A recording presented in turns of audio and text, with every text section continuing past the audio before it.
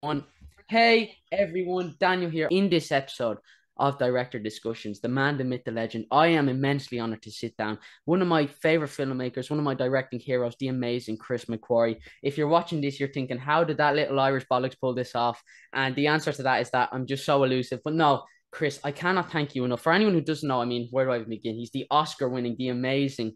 Uh, he's the director behind, you know, I'm sure this little known action franchise called Mission Impossible. I'm sure you might have heard of it. Uh, he's directed two installments of that, the most recent ones with Rogue Nation and Fallout. He's directing the next ones. Uh, Dead Reckoning Part 1 and Dead Reckoning Part 2. Besides MI, he is the director behind Jack Reacher and The Way of the Gun, and he has screenwriting credits on films such as The Usual Suspects, Top Gun Maverick, and much, much more. I just about caught my breath there, but Chris, thank you so much for coming on, sir. How are you doing today? My pleasure. Uh, and I'm doing very well. Thank you for having me. Thank you. I just committed that introduction to memory. I didn't use a page or anything. These things just come off the top of my head. I don't really know how I do it. I think I'm, I'm an actor that way. I can just memorize these monologues. I don't need a sheet or anything like that to help me. But listen, I manage. So, I mean, first things first, let's just jump right into it. I mean, you know, we've been trying to put this chat together for a while, and I'm so grateful we chat. But recently, I'm sure everyone has heard of this big thing called CinemaCon. It's this huge event, you know, hosted yearly, I believe, where they talk about the newest films and stuff like that.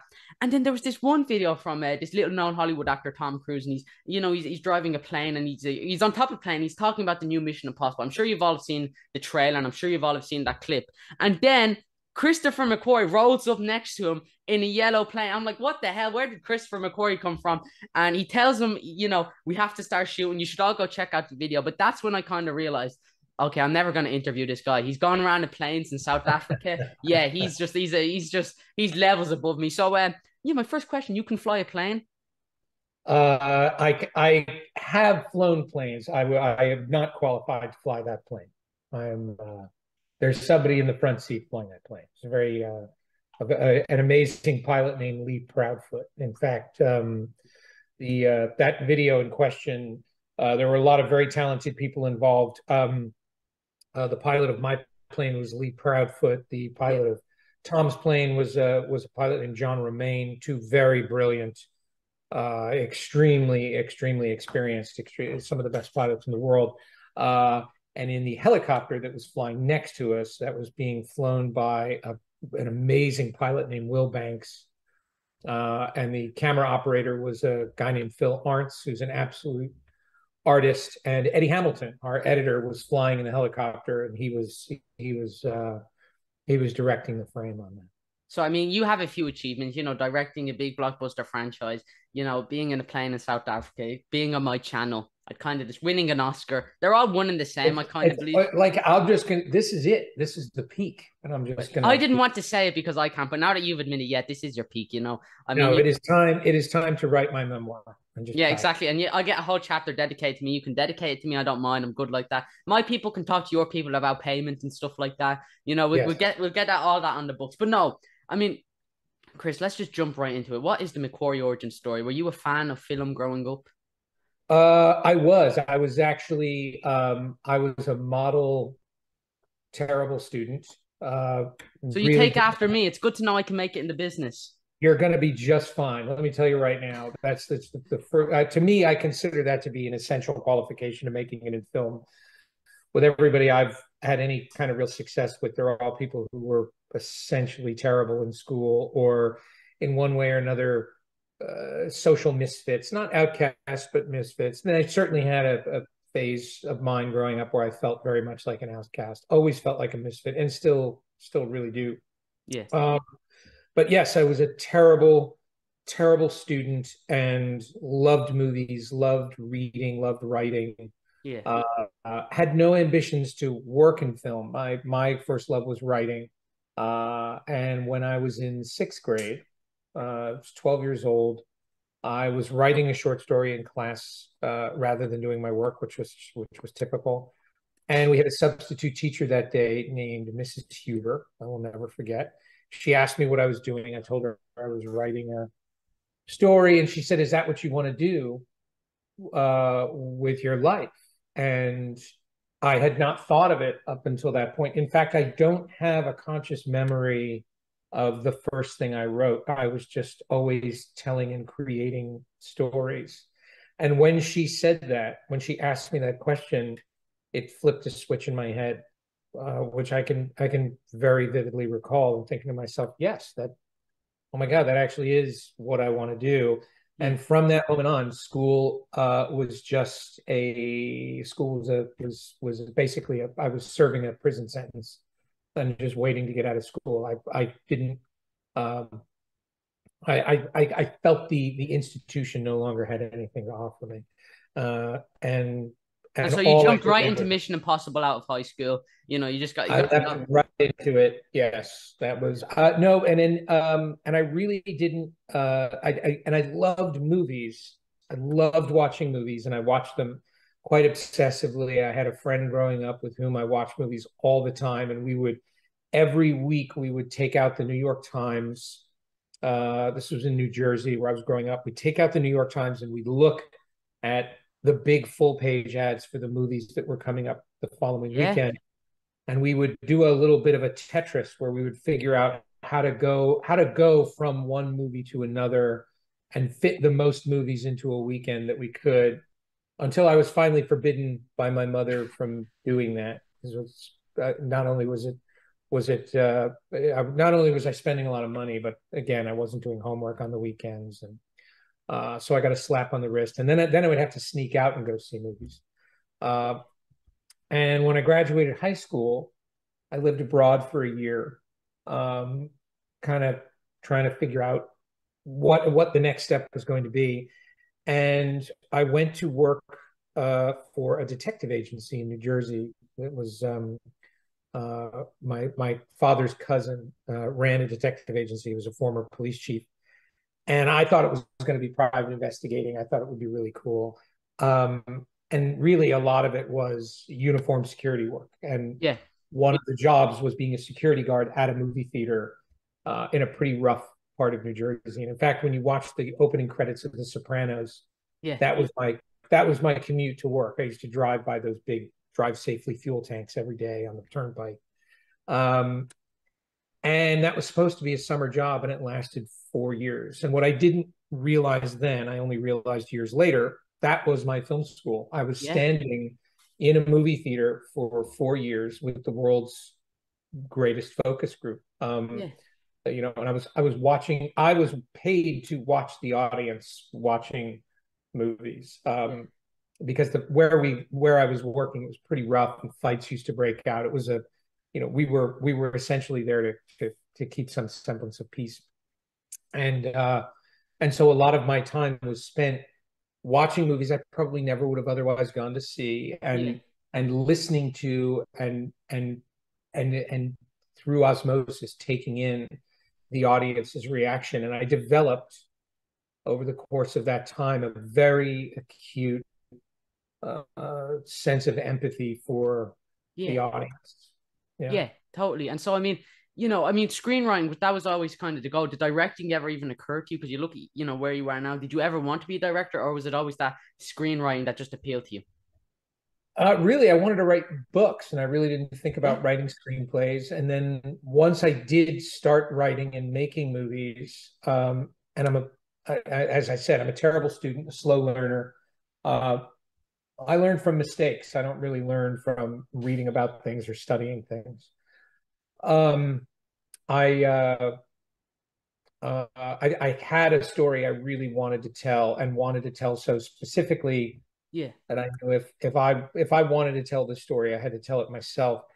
Uh, but it was a giant historical epic, and to get there, I knew I had to I knew I had to start with a smaller film, and that's when I made my that's when I directed my first movie off of the success of Usual Suspects. Yeah uh, and that was the way the gun, which was something of a something of a disaster. Yeah. And I didn't direct again for 12 years. I couldn't.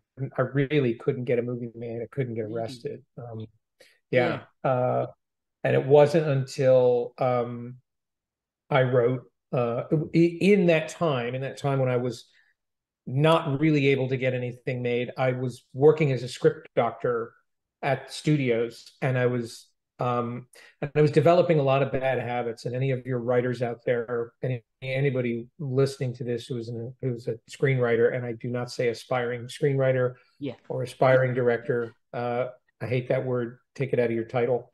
Um, when uh, when I was working at the studio, I realized over the course of that 10 years or so, again, only in retrospect, yeah. I never learned a single useful thing about filmmaking from any of the people for whom yeah. I was writing screenplays. And and constantly in an effort to to gain their approval and get past them as gatekeepers to the people who are actually making movies, I was working in service of something that was in no way shape or form about making movies. You're most of the time when you're writing for producers and executives of a certain level yeah. you're actually servicing their career and not servicing your own. And um and and you're good as long as you are of use to them. And the minute that you're not of use to them everything that they have failed to deliver is your fault. And uh and so i lived that way for a very long time.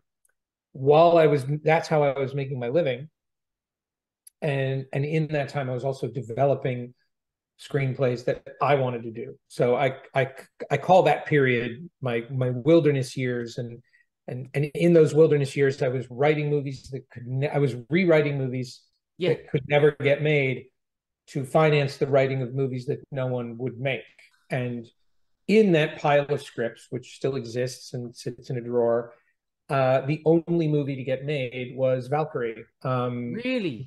Yeah, and Valkyrie was was one of two World War II movies that Nathan and I, Nathan Alexander and I developed at the same time.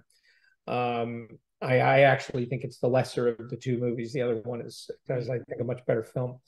Uh, and it's a film I would make, I would write and make very differently now compared to what I did then. Um, and uh, and Valkyrie led to my collaboration with Tom Cruise, which has been uh, which has been going on for 15 years now. Yeah, totally. And I mean, you know, we've talked about there, you know, usual suspects, you won an Oscar. I mean, you know, for what your second your second feature film, that's not half bad. But when you won that Oscar, what was that was that feeling coming from afterwards and going into some like way to go? Did you feel like, okay, well now I can do anything? Or was there a pressure there because it's like you've just won an Oscar? Your next project? Like how do you how do you even follow something like that? Was there a pressure or was it was it just like automatically a good thing? What was your mindset then? Um you know i because i that because of the kind of student and learner i am um a lot of things that would probably hit people instantly take years to hit me. Um yeah. which is probably fortunate in the case of an academy award because i don't i i i never felt i had to now be that person. I I didn't have to live up to that. I yeah. Um, I have I have very complex feelings when it comes to uh, the notion of who your audience is and why you're making movies. I don't make movies for the few thousand members of the Academy. If you're if you're if you're if you're chasing after an Academy Award, you're uh, doing it for the wrong reasons. Uh, yeah, you're you're doing it for the wrong reasons, and you're doing it for well, look, right look.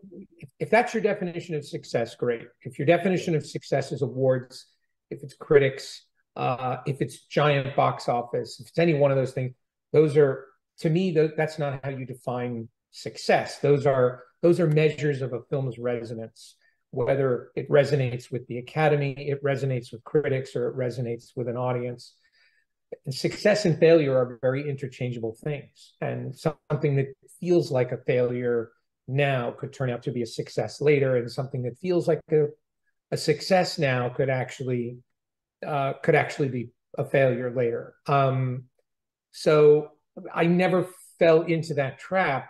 What I did was I I fell into a much worse trap, which was a which was a financial one. I yeah. um, I uh, you know, there I was making very good money writing, rewriting movies, and uh, and was and and was living a very good life.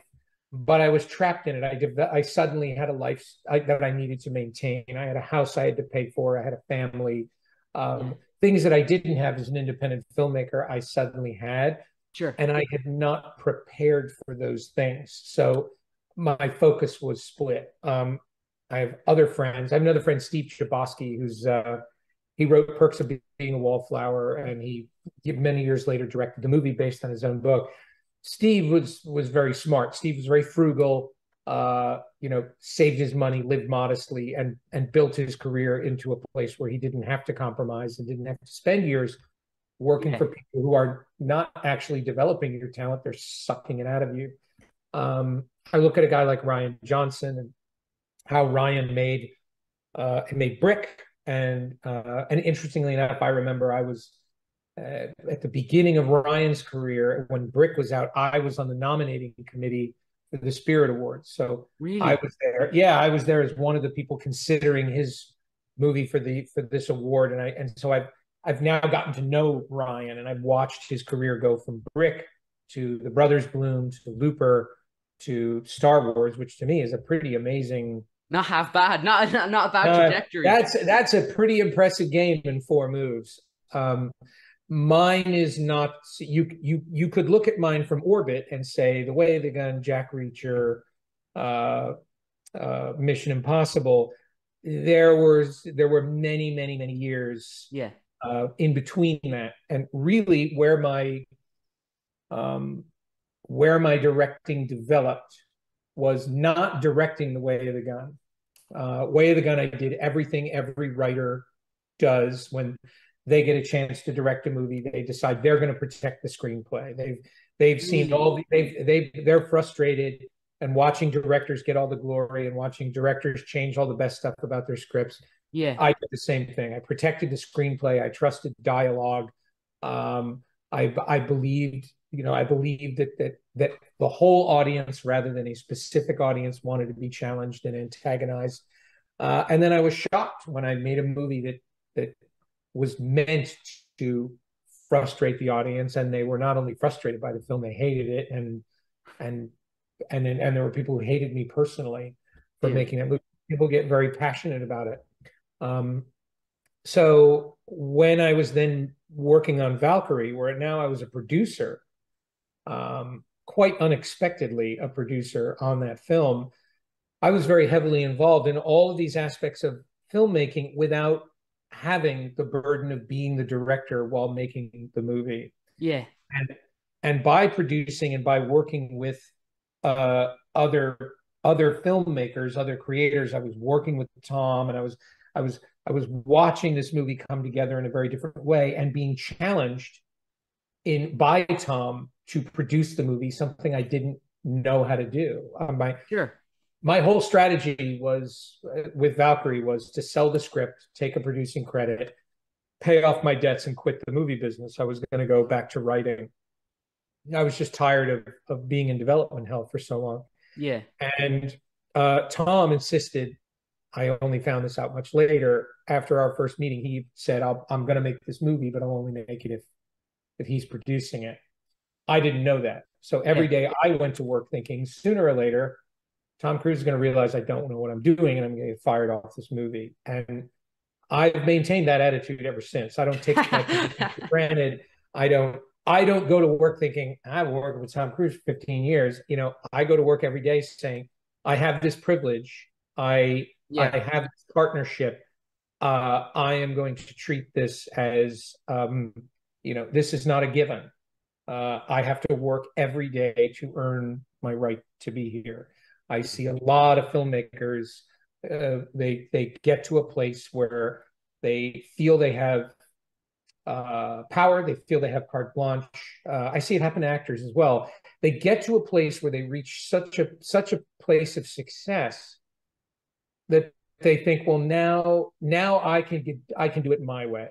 I don't have to do the things I don't like I sure. get to do things I want to do.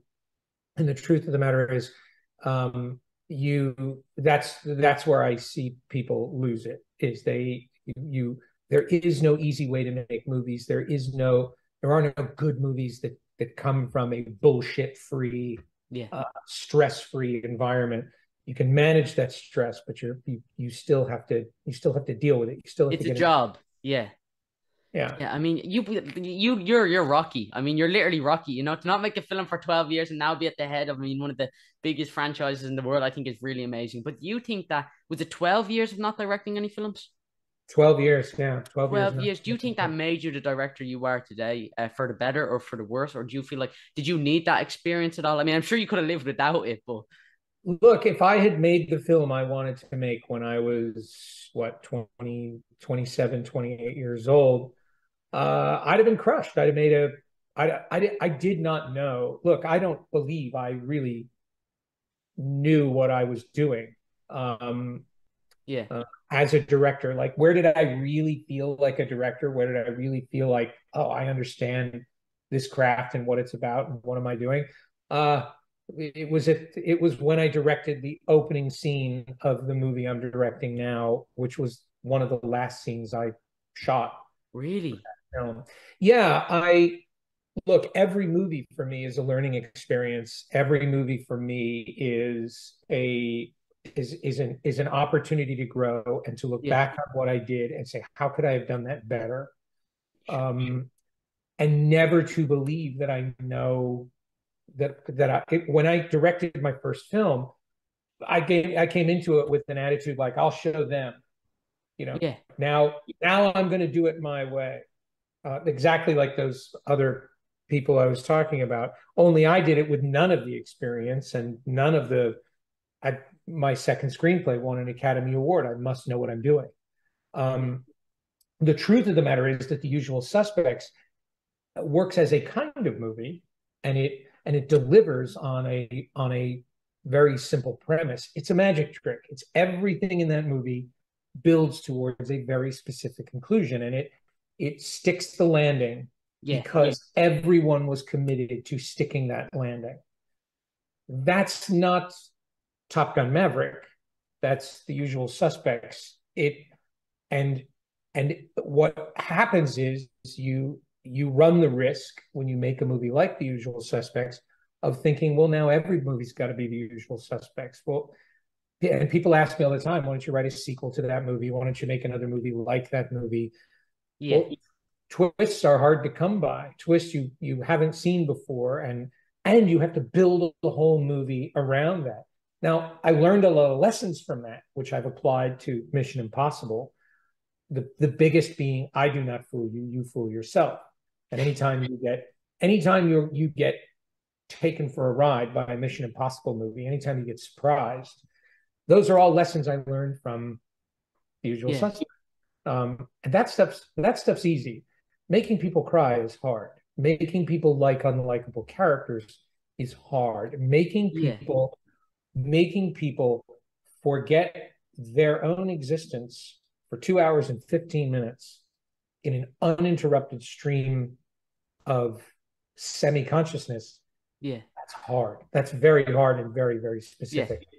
That's my pursuit. That's what I'm after. I'm I'm after your engagement. I want you to sit down, start watching the movie, and not have to think about it to enjoy it. Now, I want to be very clear. I I, I was always annoyed by the the description of oh, I want people to come and shut their brain off for two hours. That's not yeah. it. That's not it. I, I don't want you to shut your brain off. And I don't want you to not think about the movie after you left. What I want you to do is I want you to enter a uh, another conscious reality other than your own. And I want you to ex- and I want you to experience that reality uninterrupted for two hours and however many minutes. Um, and and that and when it's over, you had no sense of how long you were gone. That to me is the dream. It's not awards, it's not money, it's not yeah. critics, it's not it's not a reputation. I don't care if you think of me as a journeyman or an auteur or a visionary or a hack or a shooter. Um, yeah. I I don't I don't have a title to live up to. I don't care if one movie is an Academy movie and the other movie is an action film. None of that matters to me. What matters to me is I've been given a job to deliver this this franchise, this title, this story, this experience. Um, sit down and watch it, and you're gonna and you're gonna be transported. Yeah, I don't want to waste, waste your time. That's really the and I and I think you do an excellent job of that. I mean, yeah, that's that's such a fascinating way. I mean, to look at film because obviously so much goes into it. And I mean, yeah, it should just be for passion and for love. But obviously, I mean, yeah, you just put it perfectly there. But now let's jump into it. Mission Impossible. We've got the McQuarrie origin story. I mean, are you in London right now? Are you cutting Mission Impossible? Are you still shooting it or? I am. I am. I am editing the movie. Uh, shooting the movie and shooting Mission Impossible 8. We're we're in a kind of a we're in a netherworld between the two movies right now. They're because of um normally we would have just shot these things back to back. Yeah. Um but because of things like an actor's availability, the time it takes to build a specific set on a specific stage, the weather in a certain part of the world, the movies are kind of now mixed together. So yeah. we're it, it, there there are there are days uh, where I'm actually shooting both movies. You know, I'll be shooting seven in the morning and eight in the afternoon. Really? Um, yeah, only because of a very complicated logistical puzzle of yeah of making our release dates and contending with the fact that this movie was started during the pandemic and and how and how the how complicated the pandemic made everything. So I didn't see a rough assembly of this movie until, um, let's put it this way, I could have made Fallout uh, and start and and shot another movie before I saw the the rough assembly of of Mission Seven, which is a weird experience because you're making something for so so long, and and you never have the moment to step back and say, "Here's yeah. what I did." Um, and we Eddie Eddie Hamilton and I had assembled chunks of the movie during a little hiatus that we had, and so I knew I knew I had a, a, third act. I knew I had, um, and I knew I had some pretty some pretty gorgeous stuff. Yeah. The context wasn't there, and that's that's really that's really what matters to Mission Impossible. The, the action is kind of what we owe you it's yeah. the why do I the, the, why do I give a shit part is the is the is the tricky part of that movie is how do I invest the characters in a how do I invest the audience in a character's journey? Yeah, like, why should it, I care when you're going in? Yeah. Correct. And it, so you have to you have to put the whole movie together and then and you and the movie leaves you wanting certain things. It surprises you in other places. So I watched the assembly and a scene, much like with Rogue Nation, a scene that was a simple dialogue scene. Um, it turned out to be deeply emotional and turned out to be my really? favorite scene in the movie. My favorite scene in the entire movie, and uh, and and and really surprised us all. And when I and when I brought it to Tom, and I didn't say anything about it, we just sat down and watched the movie. The, we got to that scene, and that scene really it really hit him as well. And that's when I knew it was working. And that's that's kind of what Tom and I are are about. We're sort of a sounding board for yeah one another. We're, we have a we have a pretty uh, a pretty uh, consistent and pretty honest view of our own work. And part of that honesty is understanding that it's very easy to delude yourself, so that yeah. even when you're even when you're loving something, uh, you don't don't convince yourself that it's great. You're you you you you've got to look at it objectively. You have to look at it in context, yeah. and you have to you have to look at it with an audience. Yeah, and so I mean, what can you tell us about the plot synopsis for Dead Reckoning One, followed up by Dead Reckoning Two? Can you show us the script just so we can? I mean, I think this. I'll just get the exclusive. You can just tell us how the film begins, start up, sum up, back up. Just get get the whole film out of the way. I can tell you, uh, I can tell you it, that that everything that you see in the trailer uh, is is so far still in the movie, except for one shot. Really? Um, yeah, there's one shot in the trailer that uh, is now in eight and not. It's in part two and not part one. It was. I was convinced it would be in in uh, I was originally convinced it would be in part one, and then when I watched the whole movie, I realized, oh my god, wait a minute, this is actually, um, this this actually doesn't need to be here in this movie. It's incredibly important in the next movie. Man. So rather than asking the audience to remember it now, I'm gonna I'm gonna punt it later. Uh, so if you go and watch that trailer, it's a pretty good indication of, um, at least it's it's still a pretty good indication of the of the movie we're making. Oh, amazing. I love that trailer. Here's my McQ story. I went to the cinema to see Top Gun Maverick. And the trailer before that was, I think, I, I, I believe this right, but it was Mission Impossible Dead Reckoning. It was the first trailer. And I was sitting there thinking, and I leaned over to my sister and I go, You see that guy in the quarry? I'm going to be interviewing him. And just, she just told me to shut up. She didn't really care. But I was like, Listen, I care. So that's all that really matters. Um, but yeah, so let me let me ask you this. You know, I mean, you look at the directors behind Mission Impossible. Starts with De Palma. I believe the second is Woo. I, this is just yep. off memory. Uh, De Palma, Woo, Abrams. Was it Bird who came on after mm-hmm. Abrams? And then you. And then you were the only director in the franchise to end up doing two films and now the rest of them. I mean, what's it like to look at a franchise where each film is so stylistically different, where, you know, one film has that J.J. Abrams sass to it, another one has that, you know, Brad Bird kind of animation style he brings to it. And then to come on to something like that, is that daunting to you at all as a filmmaker? Because you are the only filmmaker to do more than one Mission Impossible you know, Fallout was daunting um, because, you know, first of all, Rogue Nation following that murderer's row of directors was pretty intimidating, and I had only, yeah. I'd only really directed two films, um, and uh, uh, and and that was that was a big and and daunting task. Um, I uh, sorry, thanks. Um, I was uh, my bag has just been delivered to me, which I left behind today. Um, my uh, yeah, that was very so. So following a it, just delivering that movie was a huge yeah. relief, and then being and then being asked to do another one, and and feeling like I can't possibly follow that movie. I put everything that I had into that movie. Um, and then so then with Fallout, it was um I, I, I guess I didn't expect. I, I didn't I didn't expect Fallout to work. I did know. I, I mean, when I say work, I didn't. I I didn't expect Fallout to to do as well as it did, and then, um, and so all I set out to do on that movie was look. I'm not going to try to top myself. I just want to make a movie that lives up to these other movies. I yeah it belongs in the in the franchise with because I'm never gonna never gonna make a movie that's you're you, you, you're you're not gonna get away with it.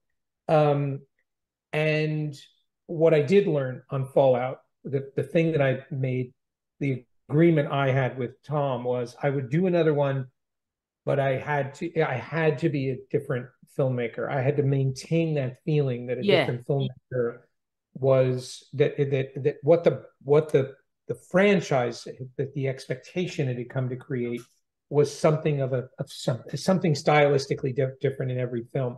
I have since learned that um, that's not that's not something I am in control of anymore. That just happens. I simply because I'm not interested in maintaining a style or a or a brand um, I've never worked to develop one. I've never promoted myself in that way.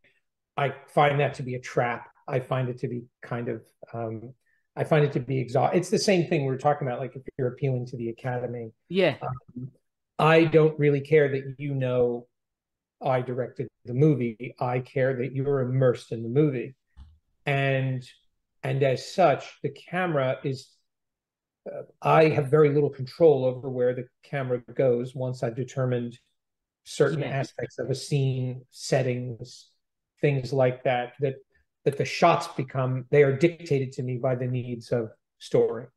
Um, the only thing uh, and, and what influences that work is my collaborators. I have a camera operator on this film uh, named Jonathan Richmond, uh, Chunky Richmond, he's known as, and um, uh, he, he's somebody with whom I have a very uh, a very close uh, collaborative relationship in terms of the frame, and I had a very specific developed sense of how I like to cover scenes. Yeah.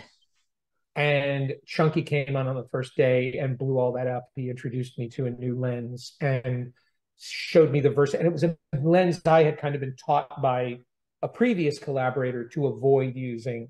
Chunky said, "No, no, no, no. Use this lens and watch what we can do with it."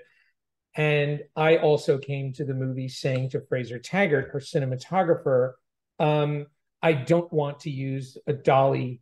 Uh, I don't want to use. Uh, I, I, I never want to use a dolly in the film. I want to use uh, Steadicam crane, and I don't want to shoot standard coverage. I want to avoid standard coverage whenever I can. Uh, I want the camera to feel alive. I want the movie to feel light. I, I was I, I, had grown very frustrated by coverage. So yeah. when you're watching, this is me giving you the secret sauce. When you're watching, uh, I would say the big change from Rogue Nation to Fallout was uh, a very different cinematographer between Robert Elswit and Rob Hardy.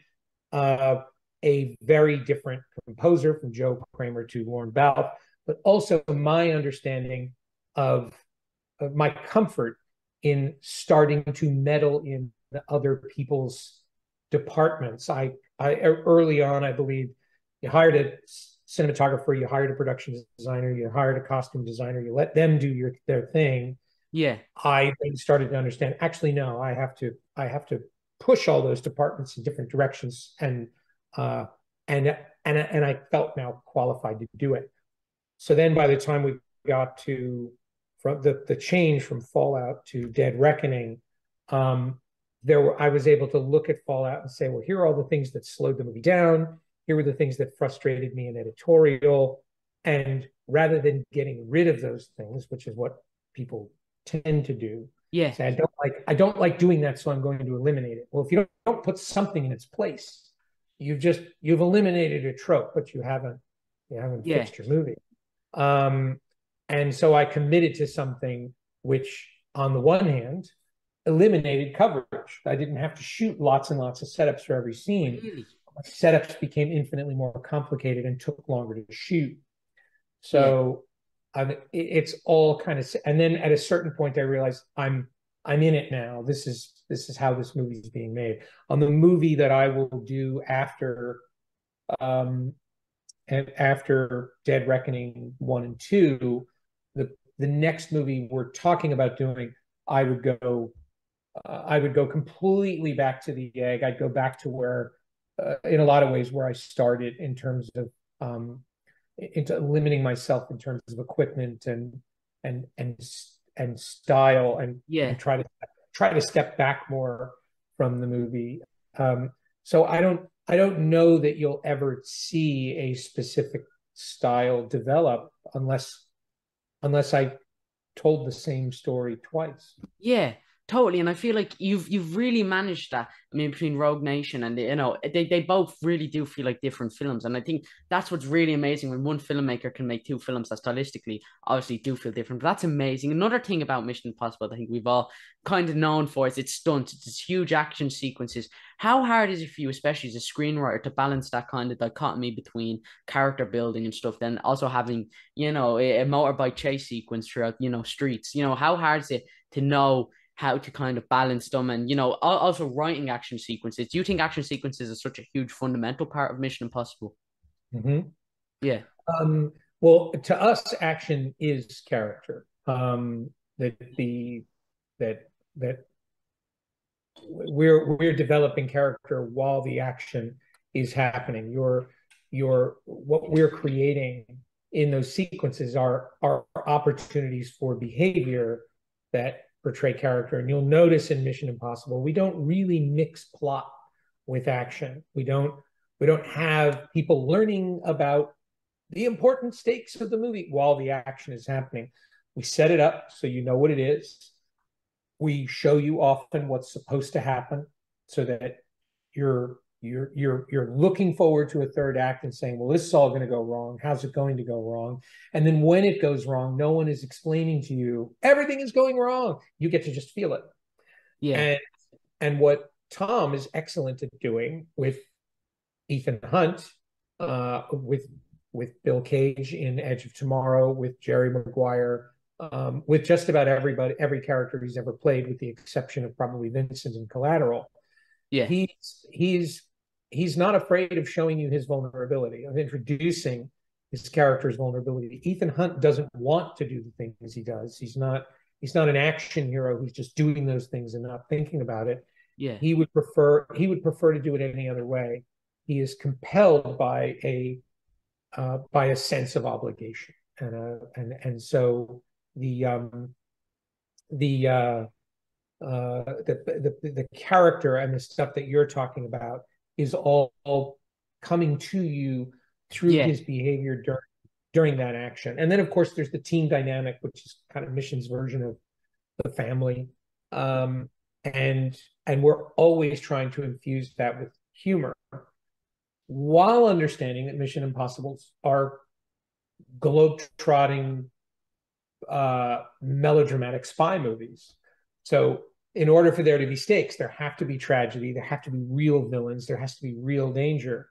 But then you also have to bring the audience back from yeah. that. It's a real challenge to have a character like, spoiler alert, have uh, Alec Baldwin die in um, in Fallout and spend he the does. time. Sorry, spend the appropriate amount of time mourning that character's loss, but then get the audience laughing again and remind them that they're in a Mission Impossible, and not let that tone yeah take over the movie. Um, and and so that's that's really what what Tom and I do, not just in Mission, but in, in its most heightened form, probably is in is in Mission. Yeah, and something that you've talked about, you know, in your interview, and this is something that's really fascinating. You said there's three components to making a good mission: it's clarity, geography, and spectacle. Do you, do you stand by that? Uh, did I say I did I say spectacle? Clarity and geography, absolutely. I think character, geography, and character. Spectacle for me um, is spectacle is kind of what you'll get with yeah you know, with the with the action that you committed to getting. Um, spectacle is what you'll get because Tom Cruise is committed to doing things that other actors probably wouldn't, and it makes my job simultaneously easier and harder. You know, normally what you're doing in my position is you're hiding the fact mm-hmm. that it's not the actor. In Mission Impossible, you have to find ways to show that it is the actor. It creates rules for how the movie is shot. It's not say Tom has rules. It's this this the the situation creates rules where okay, I've got to I've got to be attached to this character, and you will be attached to Tom's character in places. Yeah. In in Dead Reckoning and in and in in part one and part two, you'll you'll be attached to Tom's character in in ways you you cannot fathom. Like it's it's the, the challenge of getting the camera in a place where it was with Tom. Yeah, is it was was extreme. It required real engineering and real ingenuity on the part of a lot of people. When you do that, spectacle kind of naturally follows. So I don't I don't worry about Ooh, this will be spectacular. I look at a sequence and say, how can I push this character to his absolute limit? beyond the limits I've seen him do before. And also, I look at other movies and say, yeah, I really admire the way they did that sequence. I'd like to do my version of that. And I get dinged a lot for this this this gag was an X movie or that. I don't care if if somebody did something before they don't own it, and it's like it's it, it's not it's not me copying another filmmaker. There's a lot of times I'm not even aware of a of a of some gag that existed in another movie. If you walked up to me in the middle of my shooting it and they said, "Hey, they did this in a in this Korean film," and I was like, "Okay, it works in our movie. I'm I'm going to yeah. do it." And and this is my cover of that standard. Um, I don't limit myself in thinking that. The, look, the truth of the matter is, there's just there's no such thing as an original idea, yeah. and and there's really no such thing as unoriginal execution because even if you tried to copy somebody perfectly, yeah, it's going to be yours and not theirs. It's going to have your DNA in it. It's going to be in a different location, and the time of day is going to be different, and, and a million other things are, are. So I don't really, I don't really concern myself with, uh, you know, have I seen? I, and frankly, I don't have the energy. The other amazing thing is when somebody says, "Oh, you stole this shot from such and such." I can't do that for the simple fact that I'm actually not in control the sheer effort it takes to put something specific in a movie of this yes. size where you really want to say oh i've always wanted to do this shot you're going to get crushed every time. The movie is just the, the train is moving and you're just you're just laying down track in front of it. Yeah. And you're not really stopping to think of gee now was this in you know has any other director done this? Has any other film done that? It's like no i gotta i could i gotta get him from i gotta get him on the side of the plane. The plane's got to take off and i've got to care why the character's doing it. I just don't care. I just don't care. I'm more i'm more interested and i and i don't think the average viewer does i think the average yeah, i think you're right saying is saying give it to me give me what i paid for give me what i want yeah no you put it perfectly there uh, but something I'd love to ask you about. I mean, I saw this. I forget which. It might, might, might have been Deadline or something like this. But they said you and Tom are doing three new projects. So I mean, I, wonder could we get some clarification? Uh, Les Grossman is that a character you want to do something with soon? I'm um, I'm uh, I'm not saying anything. this, this is how I get my article. All all I could all I could tell you is that the, the, the the least true thing that that article said is that there were three things we're talking about. Tom and I have never been talking about less than three things, um, and and and very and, and very very serious about them. Um, and we we have Tom is always working on three movies. It's the movie he just shot, the movie he's shooting, yeah. the movie he's getting ready to make. It at the at the moment we are actually working on two movies simultaneously. For a time, we were working on three. We were in post on Top Gun Maverick. We were in yeah. we were production on uh on part one, and we were in prep on part two. Yeah. Um, so I, I would, but but I will say, having now with Tom and I having come through Top Gun and two Mission Impossibles, we sat down and said, you know, okay, let's what what are your ambitions? What are the kind of movies that you've always wanted to make? What are the um, what are the muscles you want to exercise? We came away from Top Gun and from the and from the rough cut of part one, yeah, feeling feeling ready to uh, to take everything we learned and apply it to other to other things, to attack other stuff other than Mission Impossible. Um, because really, honestly, Top Gun um, is is the culmination of everything we've learned working yeah. together, um, and and the and the level of work that went into that movie, the the refusal to accept anything as good enough, and the constant honing and polishing until every single instant of that movie was as emotionally engaging as it could be. I read one review that that was that was quite positive about the film, but then it said it said even though it feels every moment is is engineered for its for its emotional impact. Well, yeah, that's actually that's actually the point. That's actually what you pay for. What are you talking about? Yes, every single moment. We sit down and watch every moment and say, "Am I feeling it? Am I invested? Yes. Am I am I confused in it?" And and am I confused in a way? It, look, you can be confused in a movie so long as the protagonist is confused. So long as somebody's in the story telling you you should be confused now. If you just get confused, you get bored and you disconnect from the narrative, and then I got to spend all this energy getting you back into it. Yeah. So so that's what we do. We we've learned to engineer movies for their maximum emotional effect. Uh, and developed a language a, a shorthand, a vocabulary for that. That we and what I'm so fascinated by is Tom's a guy who's been making movies for 40 years. He's still learning. We're we're we're still looking at each other and go and on every movie we look at each other and say, didn't we learn this lesson last time? Like, didn't we have this exact same conversation on the last one? Why do we keep having to learn the same damn lesson? That's the beautiful thing about about this business, and that's why there's always something new, can... new. Yeah, that's amazing. Yes. And, yeah. and you and it's why you see certain filmmakers, you know, guys make like two or three hit movies, and then suddenly they make a movie that's not. You, you there is no, there is no, there's no expert level. There's no god tier.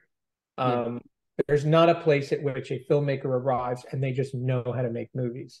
Yeah the matter is you get to a level of competency where you think you know what you're doing and then you get kicked in the junk and it's how you pick yourself up and go back and and make that better and and whether or not you release the movie before it's finished because of a you know some release date or release calendar or bigger agenda or whether you're in a position of saying absolutely not the movie's not good enough.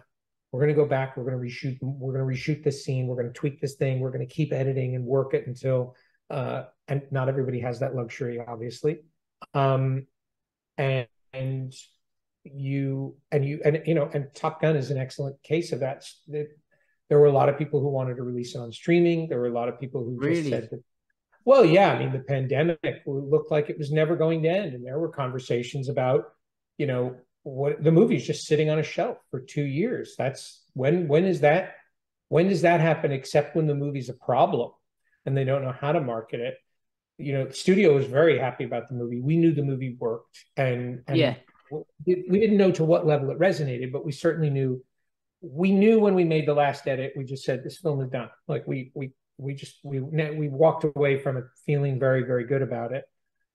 Um, that but the fact that it made it into theaters was Tom saying, "This is coming out in theaters, no matter yeah. what anybody says.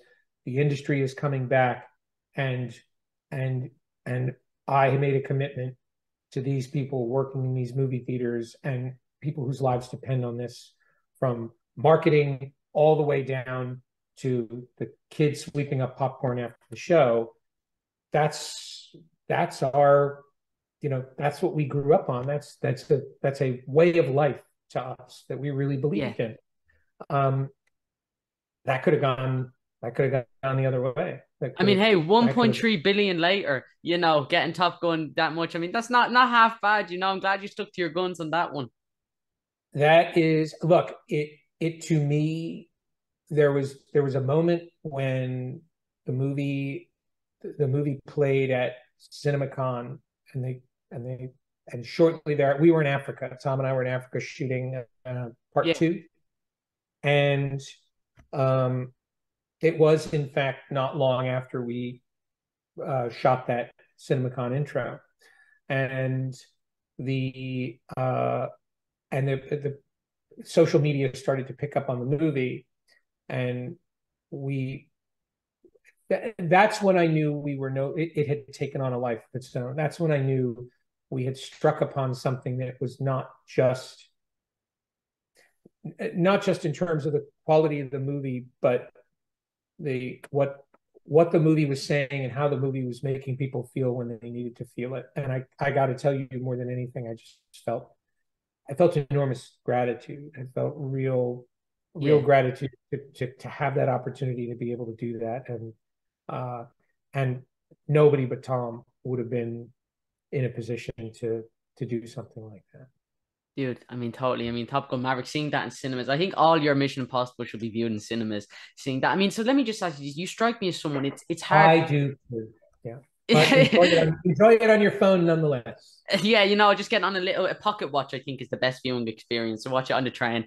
Uh, there you go. Play the film. Show us the Dead Reckoning trailer on that. Um, but no, it's hard not to see that you just have an immense love for film and it's really amazing to see. What is it about film that you just love so much as a director? Is it the fact that you can share your story through these large action franchises? What is it about film that you love? That um, might be an um, impossible question but no. For as long as i can remember uh i have loved telling stories. Before i could articulate why i love doing it i love telling stories. I I love engaging with and moving others.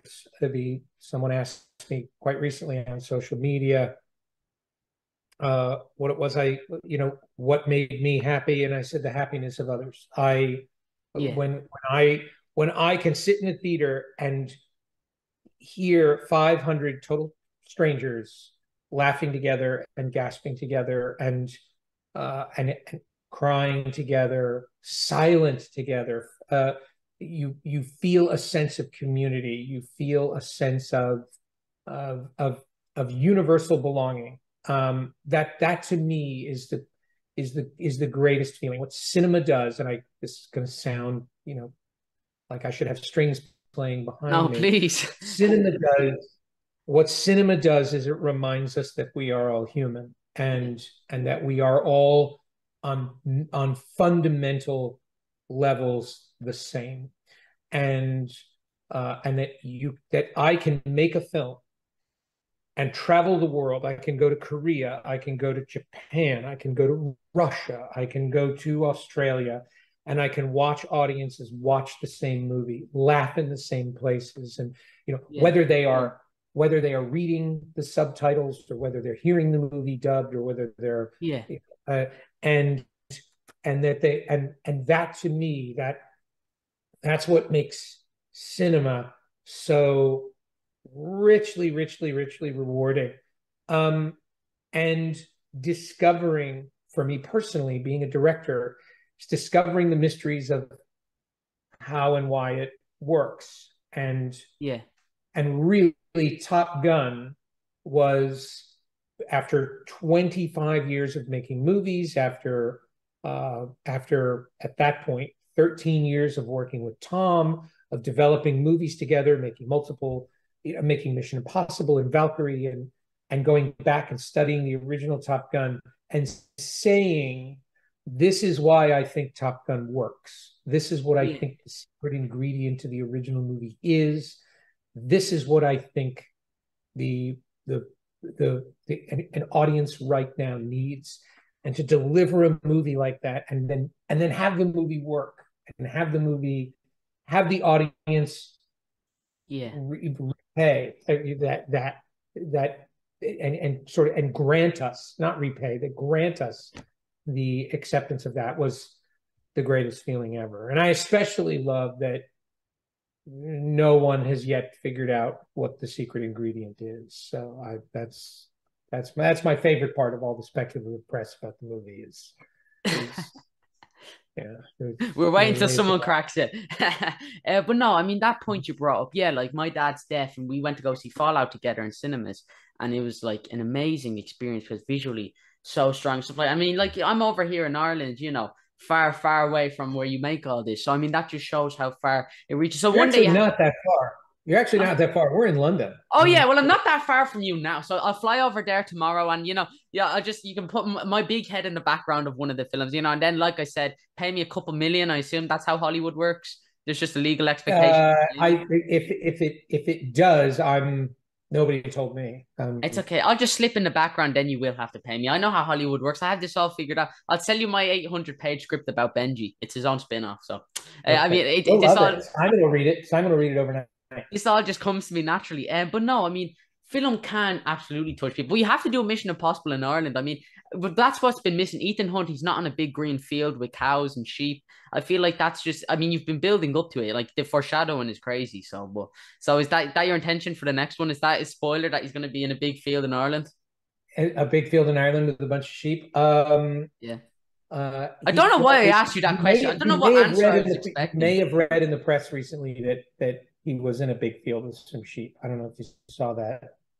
There was the um yeah, oh yeah, there was a uh that the sheep that the set was invaded by sheep. What um, for real? Was, like are you messing or what? Oh, for real, that's a story. Um and I know why that became a story and you know, it's it's a it's very it's a uh we we, we were shooting a sequence out in uh uh, we were shooting uh, little pickups to a sequence that we shot in Norway, in the Lake District here in the UK, and yeah, um, and you know, and there and and Tom was doing um, uh, he was doing uh, an aerial sequence and landing in a in a field, and there. Who knows? There might have been sheep in the field, but certainly nobody called me to say that the set had been overrun by sheep. But you're like, whatever. It's you know, I've also read that he's he's knocked out cows, which isn't true. And, yeah, all right, oh, just yeah, drop that. Story, there was some story that we had a drone that um, that he was knocking doing, out cows, skydiving, and we had a drone, and the drone terrified some cows, and it caused some panic.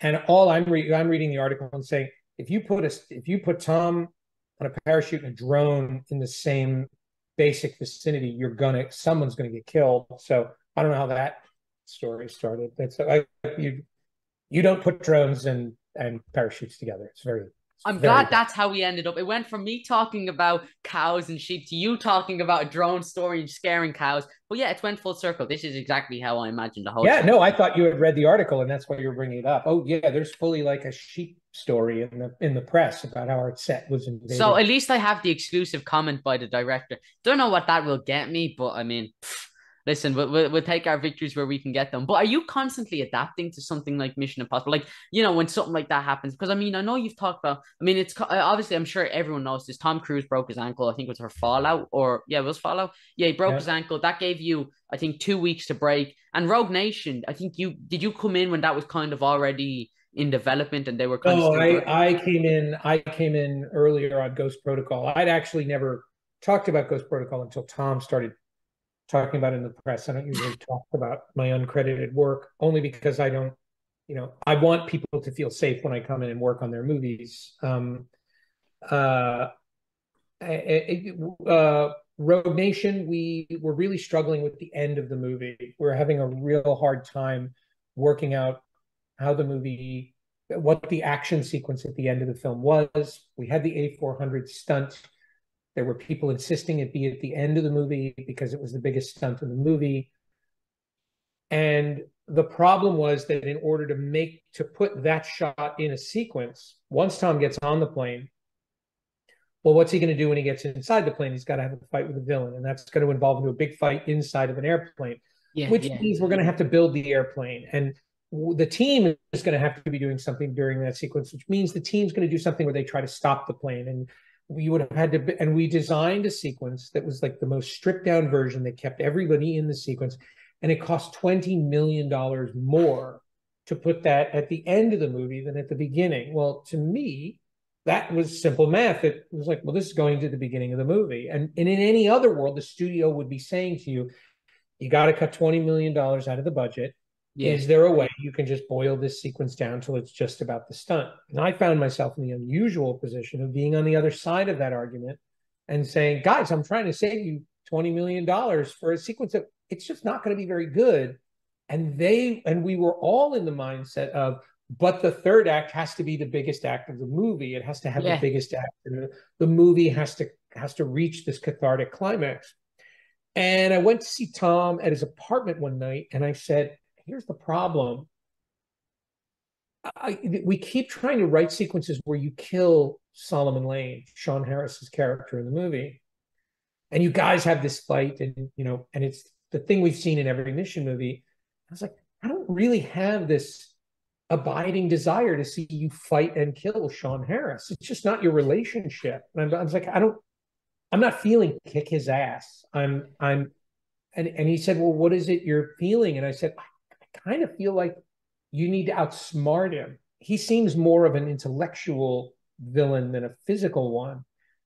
And and he said, Well, how would you do that? I said, I guess, I don't know. I mean, he caught you in a glass box at the beginning of the movie. It feels only right that you catch him the same way. And as soon as we let go of the kind of movie you had to make, in 15 minutes, we had the concept for the ending of the movie which was very small and contained yeah. and could fit inside of the, the, the time we had remaining. It, it, it's, it suddenly it fit within our resources. You know, not every movie is like that. It's yeah. That, oh, yeah. It's not something I don't want to encourage executives to just say, "Oh, I don't care, just make the ending small." We we had earned that ending, and the franchise had earned that ending, yeah. and we had also discovered something along the way having edited the movie over the Christmas break, which was the emotion of the film, which we had never counted on. And the relationship with Rebecca Ferguson was far deeper and more resonant than we ever we ever could have dreamed it would be. Yeah. So, so the ending, so the Rogue is is kind of this weird movie in that it shatters a lot of genre tropes, and I don't want to sound like I'm tooting my own horn because it wasn't intentional any more than Usual Suspects was not setting out to be a rule breaking movie. I just didn't know the rules. I didn't, I didn't care. That's very different than breaking the rules. And I caution everybody about breaking the rules for the sake of breaking the rules. It's it's when you're breaking the rules so that because you're you're not in the movie you're outside of the movie thinking about how people are going to evaluate you for having had the guts to break the rules yeah that's not, that's not a reason to break the rules that's and you're not in control of that um so rogue when we got to the end of the movie we we we realized oh that was the movie just needed to to end it didn't need to end in some big climatic way i knew going into fallout i can't do that twice in a row yeah so fallout's got to be big. It's got to be the biggest ending that a mission has ever had. And coming out of Fallout, I realized, oh, well, now I've set a bar. Now Fallout has now has raised the level of expectation to the place where I must now bury Fallout. And worse, in between Fallout and this movie, we had Maverick. And there's now this level of expectation on what we're going to deliver on in terms of action and in terms of spectacle. And then we were doubling down because we had another movie behind that which was already percolating so um, you put the henry cavill mustache in so you could really one up it. I assume that's where that came from. Henry cavill actually put the mustache in. I remember the day he came to me. Um, there was a comic book character the name of which i can't remember and he showed it to me and kind of he was modeling himself after this.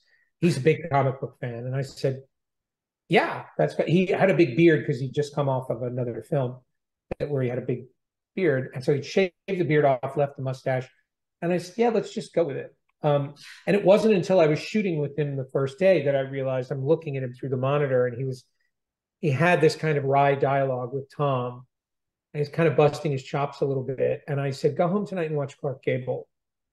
I want you to go home tonight and watch it happen one night and Gone with the Wind and take a look at this guy who was in his lifetime. He was one of the great movie stars, but he was a guy who never really considered himself to be an actor. He was he felt he was trapped as a movie star, and he's actually one of the great, truly great screen presences. And um, and uh, an interesting story about Gable. Gable, total sidebar. Gable was in Get into it. Oh yeah, Gable was in a film called The Misfits with uh, Marilyn Monroe, and it was their last film. They both, they both, uh, yeah, they both died shortly thereafter. Gable saw the rough cut of the film with John Huston, and it's a, and it's a, it's quite a good film. It's written by Arthur Miller, and it's the the the story behind the making of The Misfits is actually almost a better movie than the making of the movie, the, the, the movie itself rather. And Gable watched the rough cut of the film with John Huston. And at the end, he had tears in his eyes. And he said, For the first time in my life, I feel like an actor. And he got on the plane to fly home. And it was a very physical movie at the end. The physical scene, very physical scene where he breaks a horse in the desert outside of Reno. And he got on the plane and on the way home had a massive heart attack. At least I, I think I'm getting the story right. Don't quote me. He had a massive heart attack and he died a couple weeks later. Um, spent his whole career not feeling like an actor, feeling kind of like a fraud and a movie star, and as as though that was not something to value. Yeah. Um, so it was just very funny when Henry when Henry brought me that, and I and I looked at that and said, "Go look at this guy and and read up on this guy and study his story." And it's a and it, you know it's it's Henry Cavill is um he is that, and I see a lot of actors there's I'll make a controversial, potentially controversial statement. There wasn't something in the water in some other era. There's not a reason why there were movie stars then and there aren't stars like that now. Um, during the studio system, they had one sort of mechanism that that that made movies and made stars. And now it's very very dispersed and and there are different there are different ele- there are different elements that control why movies work the way they do and why some succeed and why some don't. And there is i believe a a different set of ambitions and and a different idea of what movies are supposed to do and it's and and i see um I see a lot of actors with that enormous potential to be enormous stars. Yeah. Um, and and, it, and and a lot of it comes down to choices. A lot of it comes down to the to the films that they make and the reasons why they make them and the noise that they're listening to, what they think they have to live up to, um, and and how the notion of being entertaining is somehow entertainment is somehow a dirty word. Um, yeah. Making big, entertaining movies that make people feel great is yeah. almost like people don't want to get caught doing that. And I'm like, I'm just unashamedly here to to do that. That's amazing, and I love what you said there. There's so, there wasn't something in the wire. There is a shift I feel in Hollywood. I mean, you know, especially I mean, you look at what I'm worried about because I mean, obviously, I, I interviewed a ton of comic book creators. You look at my wall. I'm afraid I'll have someone on who just despises superhero films, and I'll kind of turn around. So I'm thinking about getting that. But no, I, I wonder would you agree with this? And I'm so sorry for taking up so much of your time. I'll, I'll let you go in a minute, but I just I'd love to ask you. No, this. it took it took months for us to get together. I figure I you know I I, I cleared my calendar. So. Oh well, listen, I'll take that any day of the week. But do you feel like, I mean, this is just what I feel. Do you feel like superhero movies have kind of become the new Western? Because I don't know, I wasn't really alive when John Wayne was banging out these epics, but nowadays it feels like, you know, I mean, Westerns were obviously very popular in the heyday of Hollywood, but now, they, like, it's there's superhero media every month. And I mean, I love obviously super, and I love what superheroes represent. I mean, you can't look at a character like Superman and see he's not fundamentally a, a symbol of hope, but at the same time, there's I feel there's repetitiveness um, I don't know. Do you feel like westerns, that superhero films, kind of replace westerns? Or am I mistaken in that? It's a it's a it's an interesting analogy in that there was a time in in cinema when westerns and war movies were kind of the you know yeah. that was it. You were you know, and I grew up watching movies of that era. I'm not a student of the 70s. I'm much more a student of the 40s. Yeah, really. Through, through 60s. Oh, absolutely the 70s new wave and stuff like that to me is uh, that it's all stuff I really admire. It's just not the stuff I grew up on. I my 70s cinema is the man who would be king. My 70s cinema is the you know is the seven ups and yeah uh, the taking of Pelham one two three. It's um I didn't watch movies like Taxi Driver and uh and and uh and Clockwork Orange and movies like that until until a little later in my adolescence. The movies I grew up watching, you know, and then of course I'm watching Star Wars, which which blew my mind. Um, or as another generation calls it wrongly, Star Wars Episode Four: A New Hope. It's Star Wars. I'm sorry. That's just that's that's how I experienced it. That's my article um, there. Yeah, deranged uh, director. And I, when we we when we sat down to talk about Maverick very early on, no one can be asked to remember the original Maverick. No one, the original Top Gun. You can't ask people to even to step outside of the movie into a movie they liked and remember as well as that one. It takes away. No point. Totally. You step out of the narrative. You're asking the audience to do the work for you. Yeah. And and so and and there is a whole spectrum of the audience that loves that work and that is invested in that work and that work is part of the entertainment to me personally, movies are for the audience, not an audience. Yeah. That is an audience, the same way critics are an audience and the academy is an audience. You are the audience. You're the person I'm making the movie for. And and it's if, not a group of people you're making it for. It's not. I'm not making it for a spectrum of the audience. Now, mind you, there's whole spectrums of the audience that don't care at all about a movie like Mission Impossible I get that I can't please everybody. Yeah. I want to reach the widest audience possible. I want whoever comes to the movie to not have to leave the narrative for a minute. You know, I can hopefully invest them. And I think that's what you're seeing in terms of the evolution from Rogue to Fallout to Top Gun and hopefully beyond and Edge of Tomorrow. You're watching Tom and I kind of get just kind of knuckle down on what really matters to keep them in the story and and not ever have to how do we keep their phone out of their hand? It isn't loud noise. It isn't big spectacle. It's not explosions and chaos and mayhem. It's engagement. It's an investment in that protagonist's journey. And uh and that's why i i when you talk about westerns to me um unforgiven is oh yeah uh, Shane and Un- Shane and Unforgiven or or uh, Stagecoach and Unforgiven with Shane as kind of the center tentpole kind of exist as the as great examples of. Now, by the way, Stagecoach is an ensemble. It's it's yeah. It's a, but there is one story. There's a central love story in that movie that matters. Titanic. It's Rose's story, but it's really Jack and Rose, and it's a and it's a it's a love story. Same way Avatar is a love story.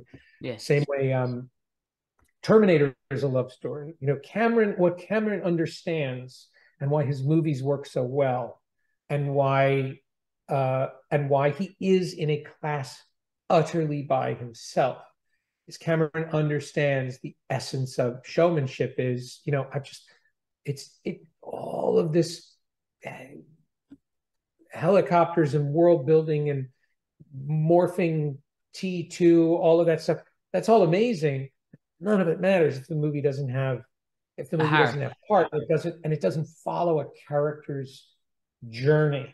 Um, so yes, I so uh, do I think it's the Western?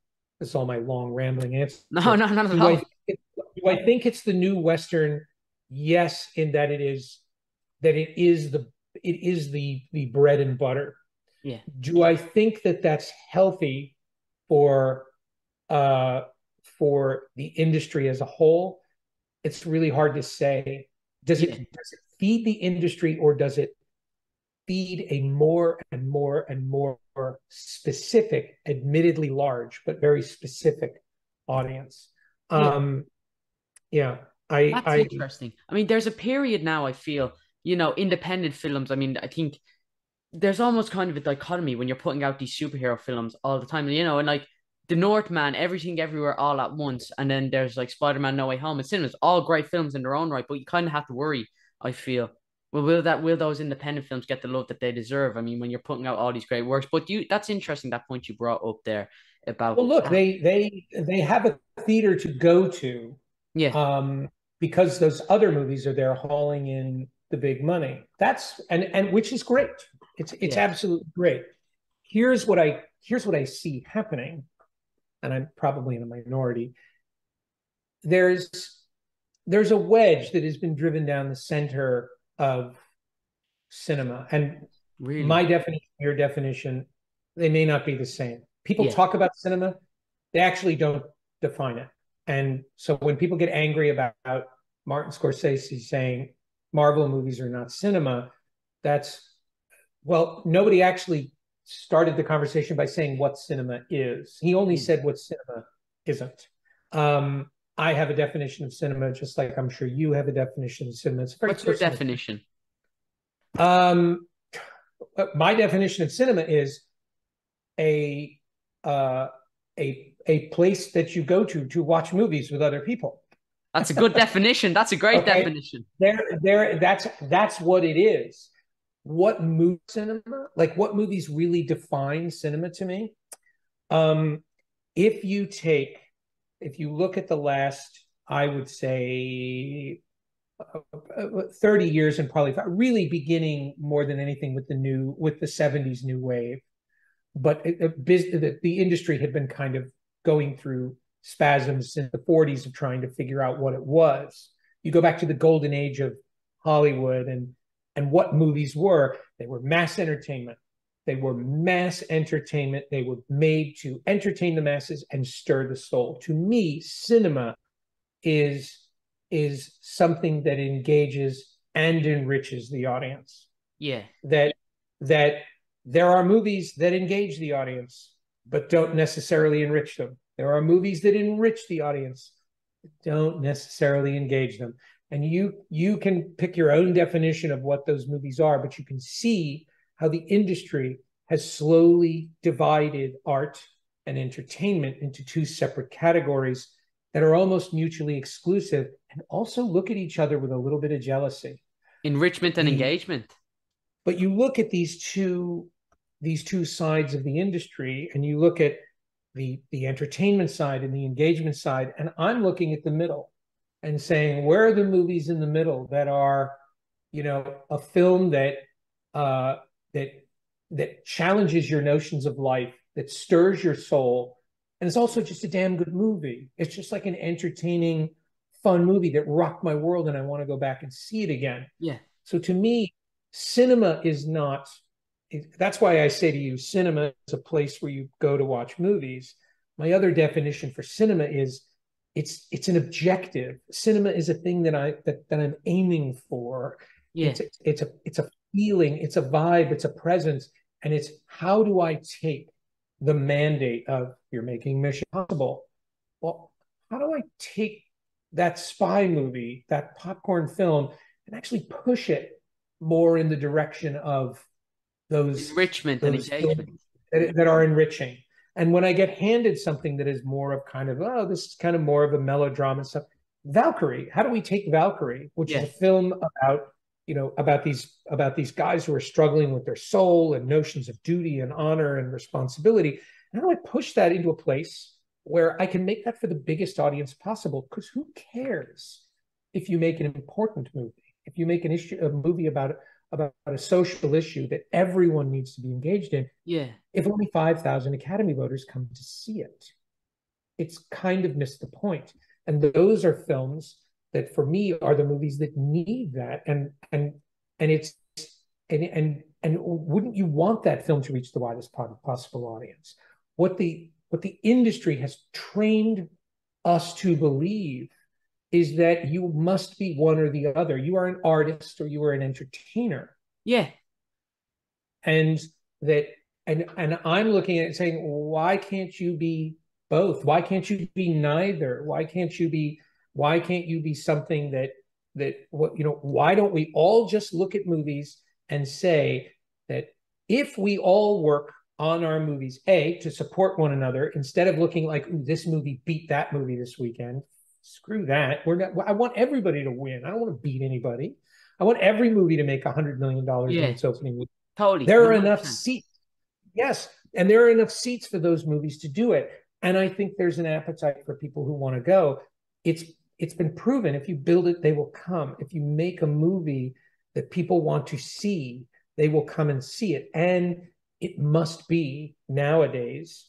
It's got to be a cultural event. It's got to be a movie that everybody's going to be talking about on Monday. So I got to go. I don't want to miss it. I want to be part of the conversation. Yeah. When I ask people your age why they go to see movies, they tell me because I have to. I, I got to see it because they're all going to be talking about it on yeah. Yeah, I think that's right. certainly the case.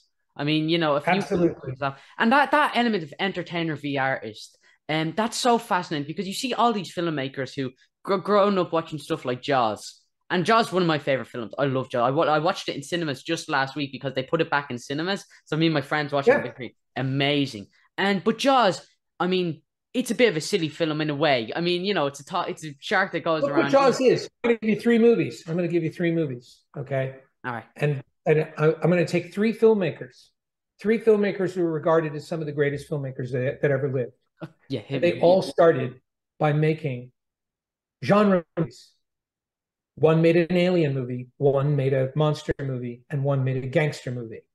Yeah. Ridley Scott, Steven Spielberg, and Francis Ford Coppola. They made. Jaws, they made Alien, and they made The Godfather. Those movies in the hands of other filmmakers would have just been, they would have been genre B movies. What you did is you took a filmmaker who really took the the art of cinema seriously and applied it to mass entertainment. Now, that's really interesting. Know, you'd have to then you'd have to then interview those filmmakers and ask them what they thought about it. I know that Coppola, I was listening to his commentary on The Godfather, you know, 30 years later or however many years later, and he was he was actually like still pining over shots in the movie that he he was forced to compromise because of budget and yeah and he was and you could see there was a guy who was still wrestling with the success of his movie. He was still wrestling with the success of his movie because I don't think Coppola ever set out. I think Coppola looks at The Godfather as, you know, it's the that's that was the genre movie I had to do to in order to get to do the things I really wanted to do. Now, really? I, I, I maybe I don't know. Don't quote me on that. I just yes. know I just quoted me on your podcast, but I was listening to Coppola, kind of lamenting the, the elements of the movie and i'm looking at it and going what's amazing is we will never see godfather the way coppola will and coppola will never see godfather the way we do the way we do. And and and I'm thinking how God Coppola. I wish Coppola could just sit down and watch the. You could erase his mind and he could just watch The Godfather because I think Coppola would watch it and go, "That was awesome." I know James Gray is a filmmaker I've known since Ah, since he was I in school. Amazing. And James Gray is that guy who's just like he's he uh, he holds himself to such an exacting standard, and he's he's so utterly principled about film, and he is he is such a lover of Visconti and Scorsese and Coppola, and and I look at James Gray and I'm like, let me produce a movie for you so that you can take all of that skill and just make one really fucking entertaining heist movie. Yeah. Like, Yeah, because like Soderbergh. would be Soderbergh, Soderbergh does these studio flicks, and they're just studio films to a different level, you know? And then he quit the movie business because it kind of kills him making those studio movies. And Really? I didn't know that. and it, well, I I I I again I Yes. it's what I understand. I could be totally wrong, but I remember when Soderbergh said he was retiring for film, and and he he really like you know he went and made uh uh what was that show the, the medical show with Clive Owen um uh the where he's the doctor at the turn of the century um I look it up. the Knick, the Knick, which was extraordinary. And Soderbergh, it, it's it's Soderbergh. I and he knows how to email me, and he can tell me I totally got this wrong if this blows back. But he, it, it felt to me like he was tired of dealing with the bullshit. He was tired of dealing with the executives. He was tired of dealing with the notes and the stuff you had to do. And he got to go and do the Knick, which was kind of his process. He would shoot the show, he'd edit it on the on the way home from work that day, and you know Yeah. he was he got to do all the stuff he loved and the knick is extraordinary. It's really really extraordinary. Um and and and and so and that's great. I just to me i look at it and go i'm not in this to do it for me. I'm not in this to do it Yeah. so that you can i'm i'm not in it for eh, for for for the small group of people who might find what i'm nerding out on. Yeah. that that to me is a is a withdrawal, not a deposit. I'm interested in making movies that that feed the that feed the the the the, the cinema, meaning the the theater where people go to watch movies, Yeah. and enrich the audience in such a way that they want to come back and see it again. That's my job. That's my mission. That's Yeah. really what I'm I'm focused on. That to me is the triumph of Top Gun. It's not the box office. It's the fact that people were going back to see it again and Yeah. going back to see it again. And then when it came out on streaming, they were watching it again. That to me, the greatest review, the greatest success you can ever hope to achieve is a repeat viewing. As somebody who watches your movie and say, I like that experience so much, I'd like to experience again. Knowing the outcome, I'd like to see the movie again. Knowing the outcome actually makes the experience that much better for me. Um, that to me is the ultimate. That's the goal. I mean, totally. But what's so fascinating, you said Francis Ford Coppola could never watch The Godfather. That's the same for you with Mission Impossible, right? You'll never watch that how I'll watch it. You know, no matter what. Because is that the same? it would you say? evolves. It, it, it, it's funny. It evolves. What I do, I study it. I don't. Really? I'm not. I'm not able to watch the usual suspects. And you know, obviously, I was the I was the first person to know what the twist of the usual Yeah. suspects. was. I was I, I I I was the I was the first spoiler on that movie. I, but I have learned so much now that all I look at when I see suspects is the is the the inexperience of everybody making those movies and the, Really? and they and the and the oh and there's just and and for years what I couldn't articulate about the things that rubbed me the wrong way about the movie that now I know why they bother me and how to fix them and that pain that that anxiety is with me every day when I'm lining up a shot now so now when I'm on set framing uh, it's it's not enough to say I've got Daniel Fee and I got three pages of dialogue and he's sitting in a chair. Put him in the chair, do this thing and shoot the dialogue. Yeah. The dialogue doesn't matter. It's it's no matter how important the dialogue is, Yeah. the dialogue doesn't matter. What matters is that when I frame the shot, I'm compelled by what I'm seeing in the frame before Daniel Fee has started speaking. Yeah. And if I and if I do that correctly, you the the dialogue will become effortless to listen to I'll only need to hear key words. I can be immersed in the movie instead of concentrating on it. Yeah. That and and and so we kind of got away with murder on usual on usual suspects because it's very dialogue intensive and there's a lot of stuff we need to retain. Now I and dialogue was very very important to me when I made the way of the gun. Yeah. I I do not care one bit if you are listening to the dialogue. I care about every single word, not for whether or not you are listening to the words, but that in the event you are listening to the words, they're not distracting you or confusing you or creating questions in your mind that I don't want you asking. So and it's so all I'm visual storytelling. It's it's visual storytelling and it's character dynamics. And the, yeah. the dialogue is music. It matters that the people are talking. It doesn't matter that you're listening to what they say. It can't I can't make it important for you to listen. If if I do that and you stop listening, you've missed a vital part of the movie. Yeah. Which is why I choose where for you to be looking when I'm saying certain things. It's why I write lines of dialogue that I know you won't be listening to because you you'll be thinking about what what other thing is happening during the conversation yeah. But if there was no dialogue there, there would be air in the scene and you would be disengaged. So I'm I'm and be thanks to that audience in that movie theater all those years ago, I'm kind of acutely aware of the experience the audience is having while we're making the movie. Tom will say to me all the time, I don't need to say this line. And I said, absolutely right, you don't.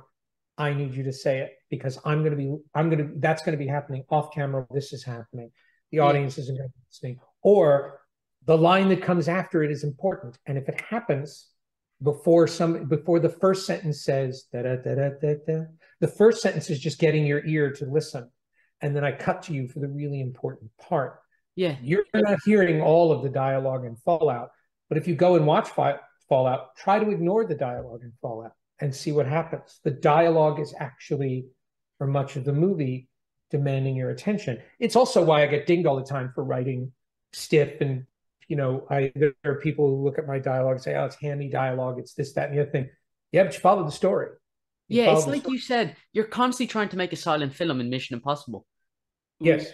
Yeah, would you tie that back? That's so fascinating to me. You know that idea of dialogue and the way you can use it and the way you. I, I think I think that's probably because you're a screenwriter. You have that perspective. You know, like if you weren't a screenwriter, do you think you'd feel that way? No, I think screen quite the opposite. Screenwriting, screenwriters think you know they they think of everything in terms of the written word, and they fear the fact that his dialogue's being taken away, their writing is being taken away. The best scene I ever wrote in my life was a scene without dialogue. Really? It, it, absolutely. What I think is, you know, uh, not the uh, uh the opera sequence in Rogue Nation. The which one? The opera sequence. Um, I don't even think you know. It's funny you said that. I didn't even think of that, but that's a sequence with no dialogue. Like there's a sequence, but, but it's that's a different emotion. Yeah. The the I was so the first time I ever uh, it was a scene in Valkyrie, and Tom was saying goodbye to his family. He was putting them in a car and sending them away, knowing that he was probably never going to see them again. And Tom came to me and he said, I think she should get out of the car and run back to me. And all I was thinking was, the director's going to hate that. The director's going to hate the emotionality of that. And it's just like, and he's going to think that's so melodramatic. And I want to give Tom what he wants, but I don't want to have this big battle. And I could see the way that it, that the, the idea would be it rejected because oh there's going to be dramatic music playing and it's going to be this you know it's going to be something out of a out of an old 40s movie and I realized if I put him in the plane flying to kill Hitler, and while he's listening to the engines of the plane, you cut to his family. And instead of music, the scene of the family is scored with the engines of the plane over this long, slow motion shot of her getting out of the car and coming back to him and kissing him and saying goodbye to him. And then, without ever showing his face, she runs back to the car. Well, I wrote that scene and then they shot that scene and I saw that scene in the first assembly of the movie and I was like, that's the That's the and it was the first time I'd written something that actually emotionally affected me. You know, that I could watch it and go, I could be outside of it and wa- and I could put myself in the audience and feel what was occurring. It was I had discovered emotions. That was like that's a critical moment for me as a as a writer. Then when we were watching the next assembly of the movie, she gets out of the car, the engines are roaring, and she runs up to him and kisses him, and then we cut. She doesn't go back to the car. And John Ottman, the editor, was sitting in front of me. He was sitting at the Avid. I was in the back of the room, his couch. And as soon as I cut one, I went, I was like, why did you cut? But I didn't say it. I went to say it. And John, who was sitting with his back to me, went, he knew. He knew right away. He was like, he's going to react and and he's going to speak too soon. And it's true. I do. I'm I'm I'm totally emotionally dysregulated. And then we get to the end of the film, and Stauffenberg, his spoiler, has been executed, and he's laying there on the ground. And there was originally the movie was supposed to end with a crane shot that went from his eye up to the night sky, and the bombers were coming to flatten Berlin, which was something that was lost from the first act of the movie. The notion that Berlin was being bombed, and I'm I have real problems with the first act of Valkyrie and and what it doesn't do to establish yeah. Nazi Germany. But because those things had been sort of tossed out at the beginning, they didn't really make sense in the Sure. end.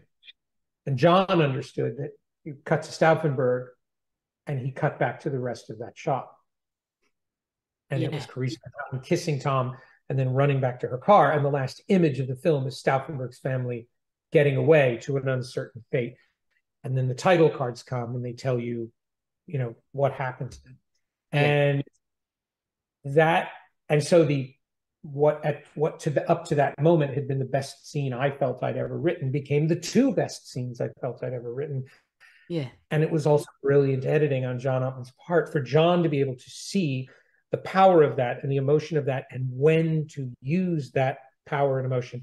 It didn't matter that Berlin was being bombed, the story was about his family. And that's what Tom understands. It's like, it's not, long live sacred Germany is an abstract concept. My wife and my children, the people I most care about, getting away to safety and escaping this, this horror. And Yeah. that's what makes the film more universal. And Tom never asked us to change the movie and make the movie more commercial. He just wanted the movie to be more emotionally engaging. And that's and that's all we that's all we focus on. do you ever have to worry about making it commercial? I mean, you know, because you know, I mean, well, I love that you can work in that studio atmosphere and still make an original creation. It's something I'm so baffled by, and I'll never understand how you because so many directors have talked about that process, but you seem to come on, make a great film while it being a big, large blockbuster studio. Make it film. emotional, you're making a commercial. I don't care what anybody says. Make it emotional and you're making a commercial. You make Really? it important. You make it important, you're not making a commercial. You're making it important to people who think it's important. If, if without the emotion, it's why people go. It's what they are paying for. It is the contract we have signed. It's what they're asking for when they come to the movie. It's what every note you will ever receive on anything you ever create. The subtext of every note is help me like your art, help me like your craft, help me like your story. People just want to be moved, and they and what they really want, what I if after 30 years of doing this, what they really want is a sense of justice. It's not a happy ending. That's very different. They don't want a happy ending. Yeah. They want a just ending within the moral universe you have created. Chinatown is not a happy ending but it's the right ending. it's the it's it it adheres to the sense of justice in the world you are thrown into and you are told in the first 5 minutes these are the rules of this world this this is how this world works. It's a loveless cold-blooded hardcore world and our and our main character is a cynic. He's a cynical cynical character who's who, who does not believe in love. And Yeah. he is he is an exploiter and profiter in other people's pain. And that guy's going to experience some real pain before this story is over. Chinatown has endured. Chinatown has endured despite the fact that it's a very it's a grim black dark ending but as you said it's it's the right one the the uh the and, and when and so when you look at a movie that's you know, they're you know, like Top Gun Maverick. Top Gun Maverick could have ended 20 minutes earlier. Yeah. And and people would have walked away from that movie feeling like that was the resolution to this character. That was an emotional story that resolved this character. It did not, however, resolve the emotional, the core emotional relationship in the movie. It did not create a resolution between Rooster and Maverick. And so, while the movie would may have been a, a, a, a emotionally rewarding on many many levels, it would have been it would have left you unresolved. It would have left you with a feeling of injustice. Now, this concept was one that I was not able to articulate until I started making Mission Seven, and it was, um, and it was it was because people ask me about the movies that I'm working on, yeah, and and they're asking me about movies in the past. It really bothers um, a lot of fans of Mission Impossible that Jim Phelps died in the first movie. Yeah, really, yeah, and it, it really resonates with people, and they and I'm asked about it all the time. And it wasn't until I realized it's, and it's only fans of the series who are looking at that. They've kind of got a preconceived notion of who Jim Phelps is. And that suddenly that that wasn't what they wanted. What you see in fandom, what you see with with uh, what's what's what's called toxic fandom. Yeah, I experienced it with a movie that wasn't a superhero movie. I experienced it with The Way of the Gun. I delivered a movie that deliberately didn't manipulate you and left you and remained ambiguous and did not bring the story to you. And people hated it. They were angered by it. They were frustrated by it. There's a spectrum of people who enjoy that movie. But I foolishly believed I was making that movie for the audience, not an audience. Now, if I had set out to make it only for people that I thought would appreciate it, that would be a successful film, yeah. not financially, but it would be successful in that I did what I set out to do. I, yeah. I honored that commitment. The the you you what you see all the time are films that that fight that notion of what they've of what they've got to of what they've got to deliver and you're seeing in Star Wars a generational fandom that expects a certain universal justice from Star Wars. Yeah. And they feel themselves being given something that that's not what they've come to expect. They feel the contract is being altered and that's and you see the emotion that that creates in people people just get it you you can complain about it all you want you can criticize people about it all you want yeah. you can say oh that's talking you can try to shame people all you want yeah what a movie is when a movie is working it creates another reality it puts you in it and it immerses you in it emotionally yeah fuck with that at your peril because you're fucking with somebody else's other reality yeah pardon my language. Feel free to. It's like these videos make no money. Say what you want. Honestly, it makes no difference. Okay, great. You so you you've got to look at that and say. And again, it's not about servicing the audience. It's yeah. not. I don't. I I totally respect fans. I can't. I have no time for fandom.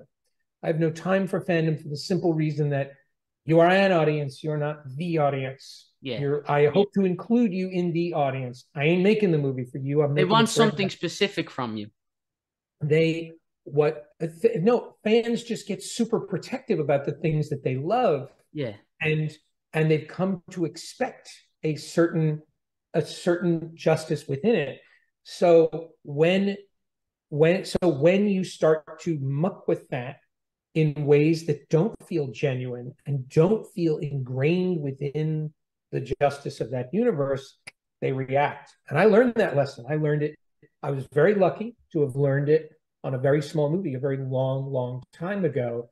Yeah. Don't mess with that. You can challenge the audience. You can torture the audience. Never punish the audience. Yeah.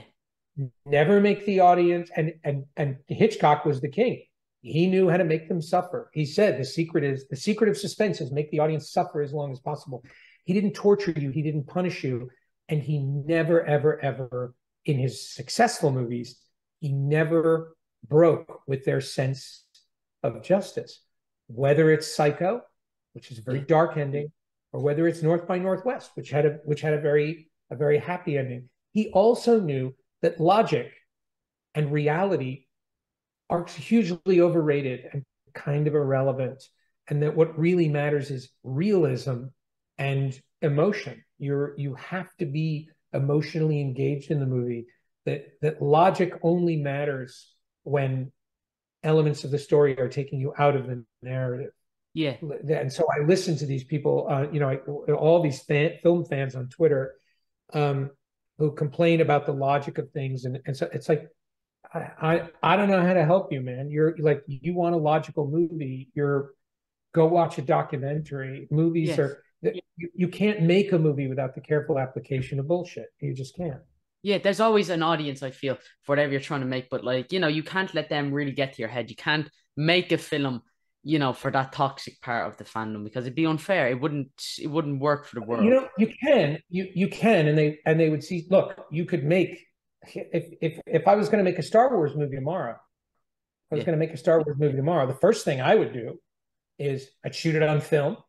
I I'd shoot it. I'd shoot it exactly the way George Lucas did. I would I would I would use the the rules of George Lucas's universe. Um, to make a movie like uh, that was mom's home's home cooking.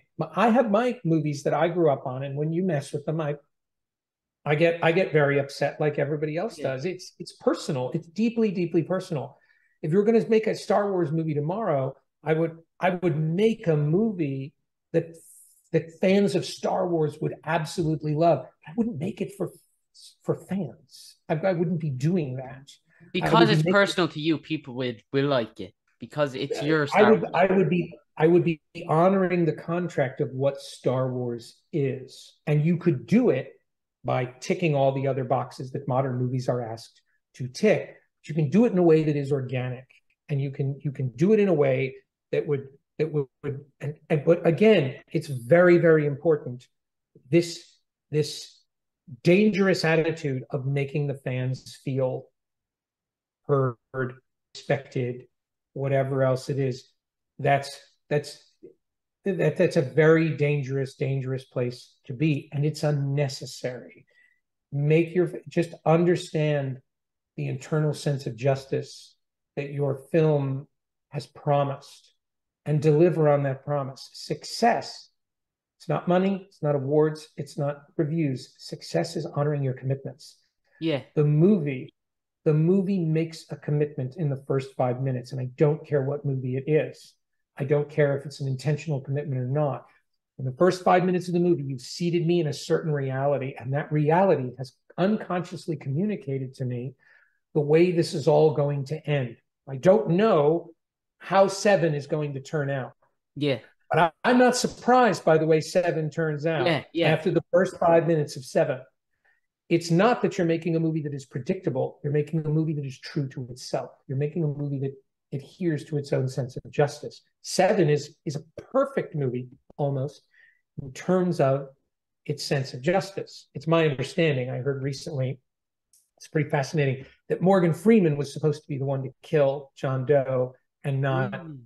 and not Brad Pitt. And if you go back and watch the movie, you see that the whole movie is setting that up and that you and you you realize that that was a completely different emotional resonance to that to that movie. And I just got to interview Andy Kevin Walker. Do you know Andrew Kevin Walker? He he wrote. Seven. I do know Andy. I know him. I know him somewhat, and he's brilliant. He's a brilliant yeah, writer. That's that's so. I'd love to ask him. I had heard this, and I don't know it's true, but as soon as it was told to me, I went, "Oh my god!" Like, of course.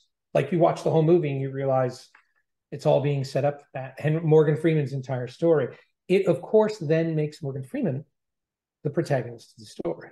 Yeah. And and so there's that you can see that you can see that balance. You can see that sort of thing that there, but also Fincher, Fincher's whole design is he he doesn't he doesn't want to be constrained by those rules. Fincher likes Fincher likes to kind of mess with you a little bit. He likes to throw you off, and uh, and and there are and there are a lot of filmmakers like that where you see that Paul Thomas Anderson is a guy who knows how to color in the lines. He just doesn't want to do it. Picasso knew how to knew how to paint classic paintings. He just didn't want to do it. And you know, and that's and and that's where those and and, and that's where those filmmakers kind of make their that's where they make their bones is they they they wrestle with that uh they they they wrestle with that uh that constraint. They wrestle with those conventions. Yeah. and and yeah. And Yeah. you see Coppola you see Coppola as a guy really struggling with that but also having to deliver on the Godfather. And I'll bet it killed him. I bet it was a really painful agonizing process every day making you know making that movie that was kind of like you know he didn't have the power he didn't have the control that he had in later movies he was you know he was he had to prove himself. Spielberg when he made raiders of the lost ark he had to prove himself. Yeah. He, he had to show that he could you know that he could that he could make that movie and that he could make that movie at a at a at a, at a certain level. And uh and and you feel those those rules really working spielberg into you know some of his some of his best work. You need those constraints. You need those restrictions. They're they are they appear to be uh, a, prison they appear to be things that are that are that are seeds of compromise I mean, yeah, that idea of working inside the construct, like the, the restraints of your universe, I think that's obviously something in Mission Impossible as well. Like, there's only so much you can do with a character like Ethan Hunt. So, when you've been doing this, is there a definitive ending? Is this all shifting somewhere? You know, because you've set up the universe, the rules of this universe. Is this all kind of colliding into Dead Reckoning? um every every mission we've made is you know has it's uh, rogue nation every mission had come to that fallout every mission had come to that Yeah. um are you are you asking me how it all ends Well, listen, if you want to say it there, you can just tell us. I mean, you brought it up, so fair enough. the, the the fun the fun of these movies is even if I knew Yeah. how it how it ended, even if I thought I knew how it ended, even if I told you the ending, couldn't guarantee that's what the ending would be. Yeah, we that's will make this we'll we'll make this film, assemble the whole thing, look at it, and say and and then look at it honestly, look at it objectively, sit back and look at it as the audience and try to be you watching the film Yeah. and say what is it, what I like to say all the time is prep is the movie you want to make. Yeah. Production is the movie you think you're making. Post is the movie you actually made. Oh, And there man. was a and, and there was a moment in Top Gun where Tom said, you know, he, he had ambitions for Top Gun, and he was and he was like, you know, and he was struggling with it, and he was he was there, there were these things he he felt that were most important, and he said, how do we get that? We're midway through the production. He said, how do we get that? And I said, you don't. That doesn't matter anymore. Let's go into the editing room right now and Yeah. find out what movie you made. Let's who who cares what you set out to do? That just got you out of bed in the morning. And we went and we looked at the film with fresh eyes and said, "Oh my God! Like here's a movie we never would have made Yeah. had we, you know, had we not been constrained. It's fine to have those ambitions. You can't become obsessed with them. You can't become so focused on the plan that you miss some better movie. There would be no fallout if we had made the movie we set out to make. There would and and the movie we set out to make changed in a single afternoon because of a scene Tom Cruise did with Vanessa Kirby. Tom was playing a whole different character in Fallout. And we shot Vanessa's side of the scene first. Amazing. And her character changed while we were shooting it because we started to realize never mind what we wrote in the script, look at what Vanessa can do and play with those strengths and look at that attitude. And the tone of the scene changed and her character changed. And when I turned the camera around on Tom, I thought, the guy you're playing in this scene doesn't belong in a scene with this person. She'd never tolerate what your she'd never tolerate your side of the scene. So we had to rewrite his character and throw out a huge subplot of the movie.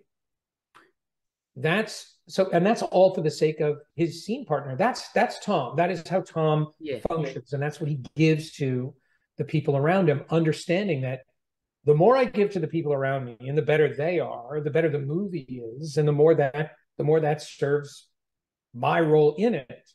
All boats rise with the tide. Instead of looking at it and going, what do I get out of this? Yeah. Tom's whole perspective is, what can I give to everybody else so that they can give to the movie? Because in the end, his ultimate objective is your experience. Yeah, it's not about the audience. Being, it's not about being Tom Cruise star of the movie. It's about your coming and enjoying that movie and having that that great experience. And that's so that's the um anyway, that's that's the the the the, the, the, the so when we look at Mission Impossible, when you're asking, you know, what is this and how does it culminate? I don't know. I think I know. I think I know. We'll have I'm, to wait and see I, if your version. I do. True. I do not know. I do not know the last scene of part two. I don't know it. I I know. I know what I want the audience to feel. Yeah. And and and what I want them to feel is not remotely what people expect. I want them to feel. Uh, you know what they're predicting yeah. about things. I I to me it, it matters in a movie like this that you that you that you come away with a specific feeling. I'm not going to tell you what it is, but that, that that in movies like this you come away with with a specific. You'll come feeling. away thinking there should have been more sheep in this film. There should have been many more sheep in the film. There can always be more sheep, um, but that that this movie's so so long as the movie adheres to its sense of justice. You know, now when we watched the assembly of Seven, we were able there were scenes in the movie that we hadn't shot yet. There was a scene we knew we were gonna we were gonna reshoot because mission you it's the exposition scenes it's the, the the the stuff that sets up the reasons in the movie that you tend to shoot more than once because it's just kind of it yes. seats the audience in the narrative. So we knew these specific things we were going to reshoot. When we put the whole, whole movie together we realized oh thank god we're reshooting those scenes because now now look what we can do with the movie. Look how we can contextualize all of these emotions. Yeah. And in one hour, I wrote, you know, three pages that changed the entire third act of the movie. Amazing. But only because I was able to sit down and look at the entire thing together and say, you know, look what we did and look at what look at what the feeling we were after and and look at the feeling we ended up. Yeah. Creating. Look at what we built and how can we yeah, that's really amazing. Yeah. Uh, Chris, my second yeah. last question, my second, I, I swear it's my second last one. What's your dream project as a filmmaker? I say to you, any job, any, is there a world or any IP or is it continuing to do your own stuff? What is your dream job? There, I'll tell you, I'll be very honest with you. There used to be, you know, for years I wanted to do Alexander the Great. I wanted to do a project about John Wilkes Booth. And I wanted to do those movies because I was comparing them to other movies that that I wanted to one day be compared to and yeah. that's not the way you do it. I don't think of things in those terms anymore. I to me it is the um I, when you see Dead Reckoning part 1 and 2 they contain every movie that someone didn't let me make. Wow. Every every movie I dreamed of making some element of them are are in these movies. Movies that I loved and never dreamed of making are in these movies. Um, and and after this, all I really want is um, is the is the next challenge. I just you know that's why when we're you know the the projects Tom and I are talking about, um, there I I can't wait to apply what we've learned on this movie to to ideas like that. Would you ever join the superhero world just out of curiosity? Or is that, are you more content doing your stuff with like Mission Impossible and stuff? Um I well I'll tell you that my my sensibilities have grown more and more grounded. I've become more and more I've developed a greater and greater appreciation of the notion of vulnerability um, I, I suppose I would approach those worlds if I were if I were allowed to if I were allowed to to take them where I think they need to go. I I don't I don't I don't know necessarily that the, the, the kind of movies I like and the the it, it fit into the philosophy yeah. of of of that. And and look it doesn't matter what world you put me in put me in superhero world you put me in science fiction you know you name a franchise i'm going to make the movie that's going to be that that's that's that's designed to make the maximum return I want people to come and see the movie. I want there to be a big audience. I want the movie to make a lot of money so that I can go on making movies.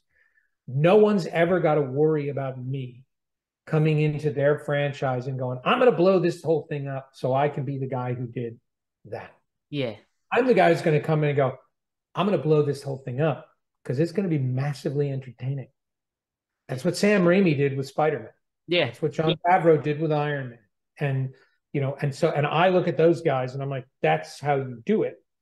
It's it's a tightly controlled universe with with a much bigger plan going on. I'd probably be better in that better serving them in that universe as a producer as a as a you know as a as somebody backstopping whoever that person is and saying you know this will be more emotional if you do this. And you know yeah you're you're part of a collective. You're part of a you're part of a bigger mechanism. And i don't have a problem doing that. I, I don't have a problem doing that. Um, do i want to do i want to deal with the the the reaction to those movies? Yeah. yes i'll take that on if i'm completely in control. Yeah. Because because because then you know if i'm going to get the shit beat out of me on the internet it's because it was it was my mistake. It's not because something somebody else ordered me to do. It's, it's and and and the move and the move but keeping in mind the movie i'm going to make is what i believe is going to be the most massively commercially successful movie imaginable. I look at those i look at those fans and i hear them. I hear them and i understand i think i understand why they are why they are upset, why they're angry. I don't agree with their methods. I, yeah. I, I find all of that to be, I, I don't think anything that they say or do in the hurting of other people is justified. And, no. and it is, and it is, I'm sorry to report, it is only a movie. It's just mass entertainment. Yeah. And truthfully, guys, to, to all of you out there, if you want, if you want to see the the superhero movie, if you want to see Brainiac fight Superman, follow everything I'm telling you about how to make big, massive commercial movies so that you can and look at Rian Johnson, who you love to criticize, as a guy who got to Star Wars in four moves. Yeah, not bad. You can get there too. And you and and you can you can be the one to make your own and you can be the one to face the consequences when the fans don't like what what you did. Um, would I would I do that if somebody came to me and said, "What do you want to do?" If and and and if I was really, I was I was very excited talking about Superman with Henry Cavill. I just can't, but, but because not because oh I love Superman and I get to make my Superman. Yeah. I love working with Henry Cavill, and I love Superman when I watched it. You know the Richard Donner movie, and I don't think Superman's done anything like that since then. And I also love a broken toy. And so I was kind of looking at that like, I just, you give me a story and it doesn't matter if it's comic books and, you know, I'll dive in. I, I said something, I misspoke. I said, I said in an interview, I'm not a comic book guy, I'm a story guy. And it upset people because they were like, comic books are great stories. I was like, I didn't mean the comic books don't have story. I wouldn't make a comic book movie because I'm a fan of comic books. I wrote Wolverine yes. the, the my draft of Wolverine because I saw I was like, I can write the shit out of this movie. I can write the shit out of this character. And I also know because of the internal politics and the mechanism that I'm working working through that not a word of what I write will make it to the screen. I'm just I'm my I'm I'm I'm an engine that's getting something started and that and that I'm not going to be the author of this. I'm not going to be along for the ride but I'm gonna I'm just gonna I'm gonna get really I took the meeting so I could meet Hugh Jackman. That's that's why I did it. Um, Lovely way, and, amazing. Yeah. So, um, you know, I look, never say never. Yeah. I'm not. I'm not. Uh, I'm. I'm. I'm not averse to it. I'm not hugely fascinated in it. I've. I've. I've, I've had Top Gun Maverick changed the way I will make movies. Yeah, post, I can post imagine. Mission Impossible. Um, you know, I'd already started Mission when when we were finishing Top Gun Maverick. Uh, I'll never make movies the same way again because of that experience. Um, and I, I well, I'll tell you what I would love to do. I'd love to apply that the, the the lessons learned from Top Gun Maverick to those universes. I'd love I'd love for them to open the door and to let ideas like that in. And and I I would love Bond to to open the door and kind of let that stuff in. I would love uh, you you name a franchise. I I would just it, it's it's all that thing that I'm talking about where it's like you know we can we uh, striving towards that striving towards that middle to an emotional core and and I and it's Marvel's really the only one doing it. Marvel are the only movies that really are reaching for that kind of emotional connection kind of unashamedly and they get dinged for it. And i i gotta say i'm like you know you may be making the movie for an audience and not the audience yeah. but kevin feige's after the right thing man. He's he's after the right thing. He's he's that's that's you, it's just i just want to go to a movie and feel something. Yeah, amazing, man. I'd love to see you join that world, but at the same time, I love seeing you do your own stuff. My last question, Christopher, I swear, I'm, I, I cannot apologize enough. Uh, what advice would no, you have? No what advice would you have for anyone looking to become an uber successful director and screenwriter such as yourself? I mean, I, I say it'd be different for both of them. Uh, what advice would you have for anyone looking to become a director? And you know, it's the same advice I give to everybody: don't ask permission to do it. Yeah, and you gotta, you have to go out and do it. You, nothing will teach you how to succeed like failure. Um, you you need to go out, fall on your face, embarrass yourself. You need to make crappy movies to make good movies. You need to make mistakes to learn how to be. You have to fail to succeed, and uh, and that the entire business is arrayed in such a way that you are you are made to ask permission to, for permission from people who will never ever give it to you. Most of them are not in the in the position of authority to give it to you. Many of them don't know how to make movies, so they wouldn't recognize the makings of a good one if it bit them on the ass. They're uh, they're it, it, all of the decisions that are being made are fear based, and they're all centered around risk mitigation, not risk taking. Um, you find people around you who have the same passion that you do and make movies. And you can make all the excuses you want. You can make all the reasons for why you can't do it, why you don't have the time, et cetera, et cetera, et cetera. I have never been able to help telling stories. I've never been able to to stop myself, as it's pretty obvious from our conversation, from telling stories and and connecting with people through a through a uh, uh, through through an, through an interaction that way if it's in you, nothing can stop you from doing it. And what and and the, the, the biggest mistake that I made in those seven years, and I made a lot of big mistakes. I pissed a lot of people off. I held a lot of grudges. I did a lot of things on principle instead of playing the game politically. I I can chart every reason why I am I I have the struggles I have today back to times I shot myself in the foot. Yeah. So I'm not I'm not blaming those seven years on anybody but myself.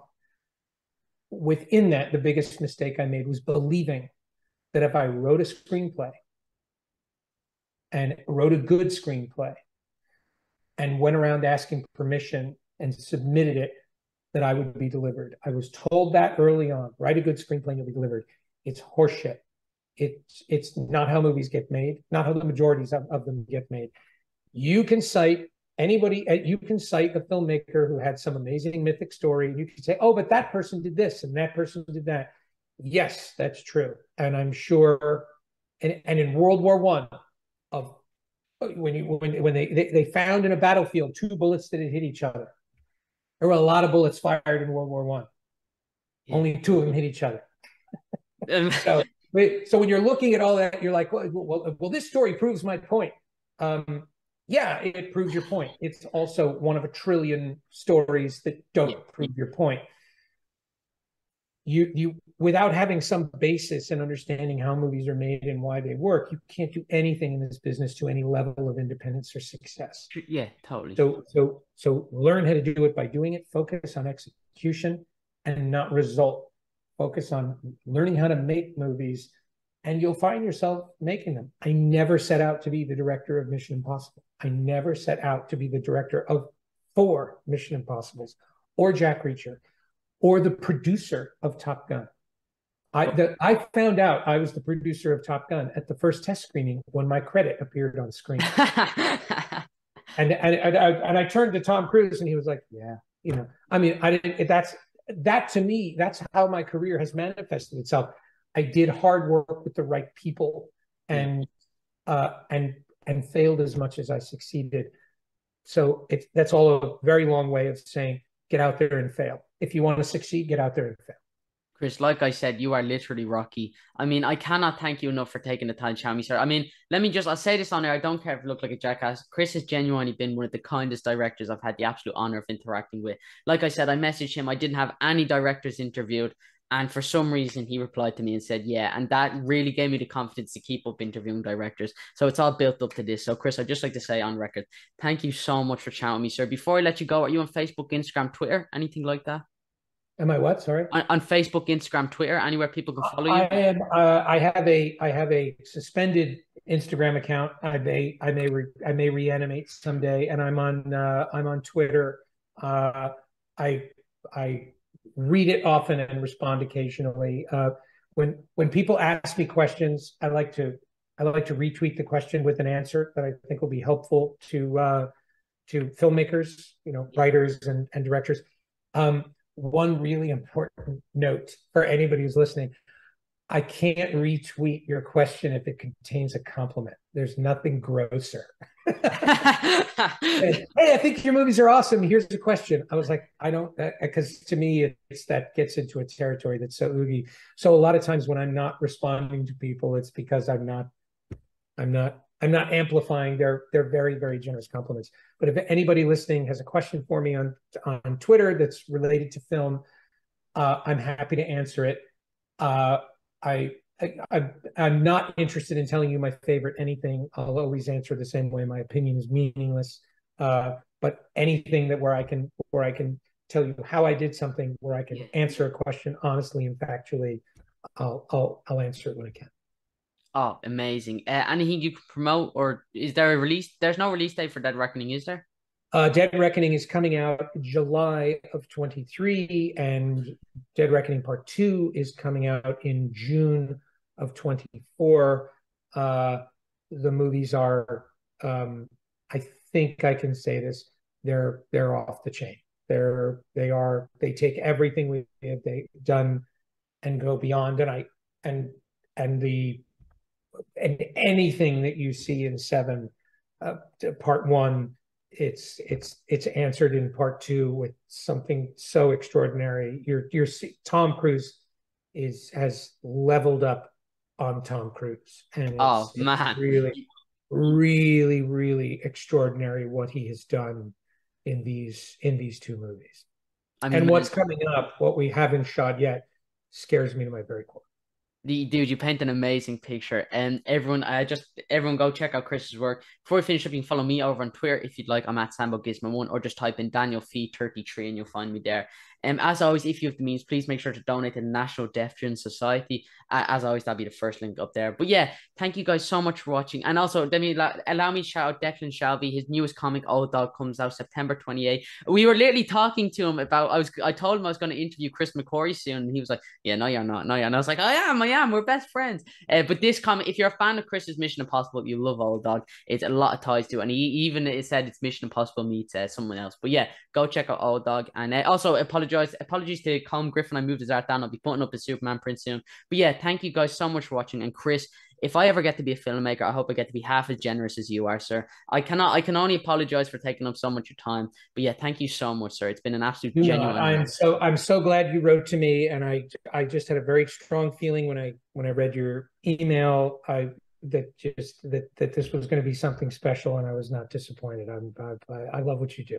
You legend. This is my best friend McQ. I can call him McQ because we are best friends. Our new sheep project comes out soon. It's 800 pages, but listen. Now, thank you guys so much for watching. I will see you all in the next video. This has been my interview with the man, the myth, the legend, McQ.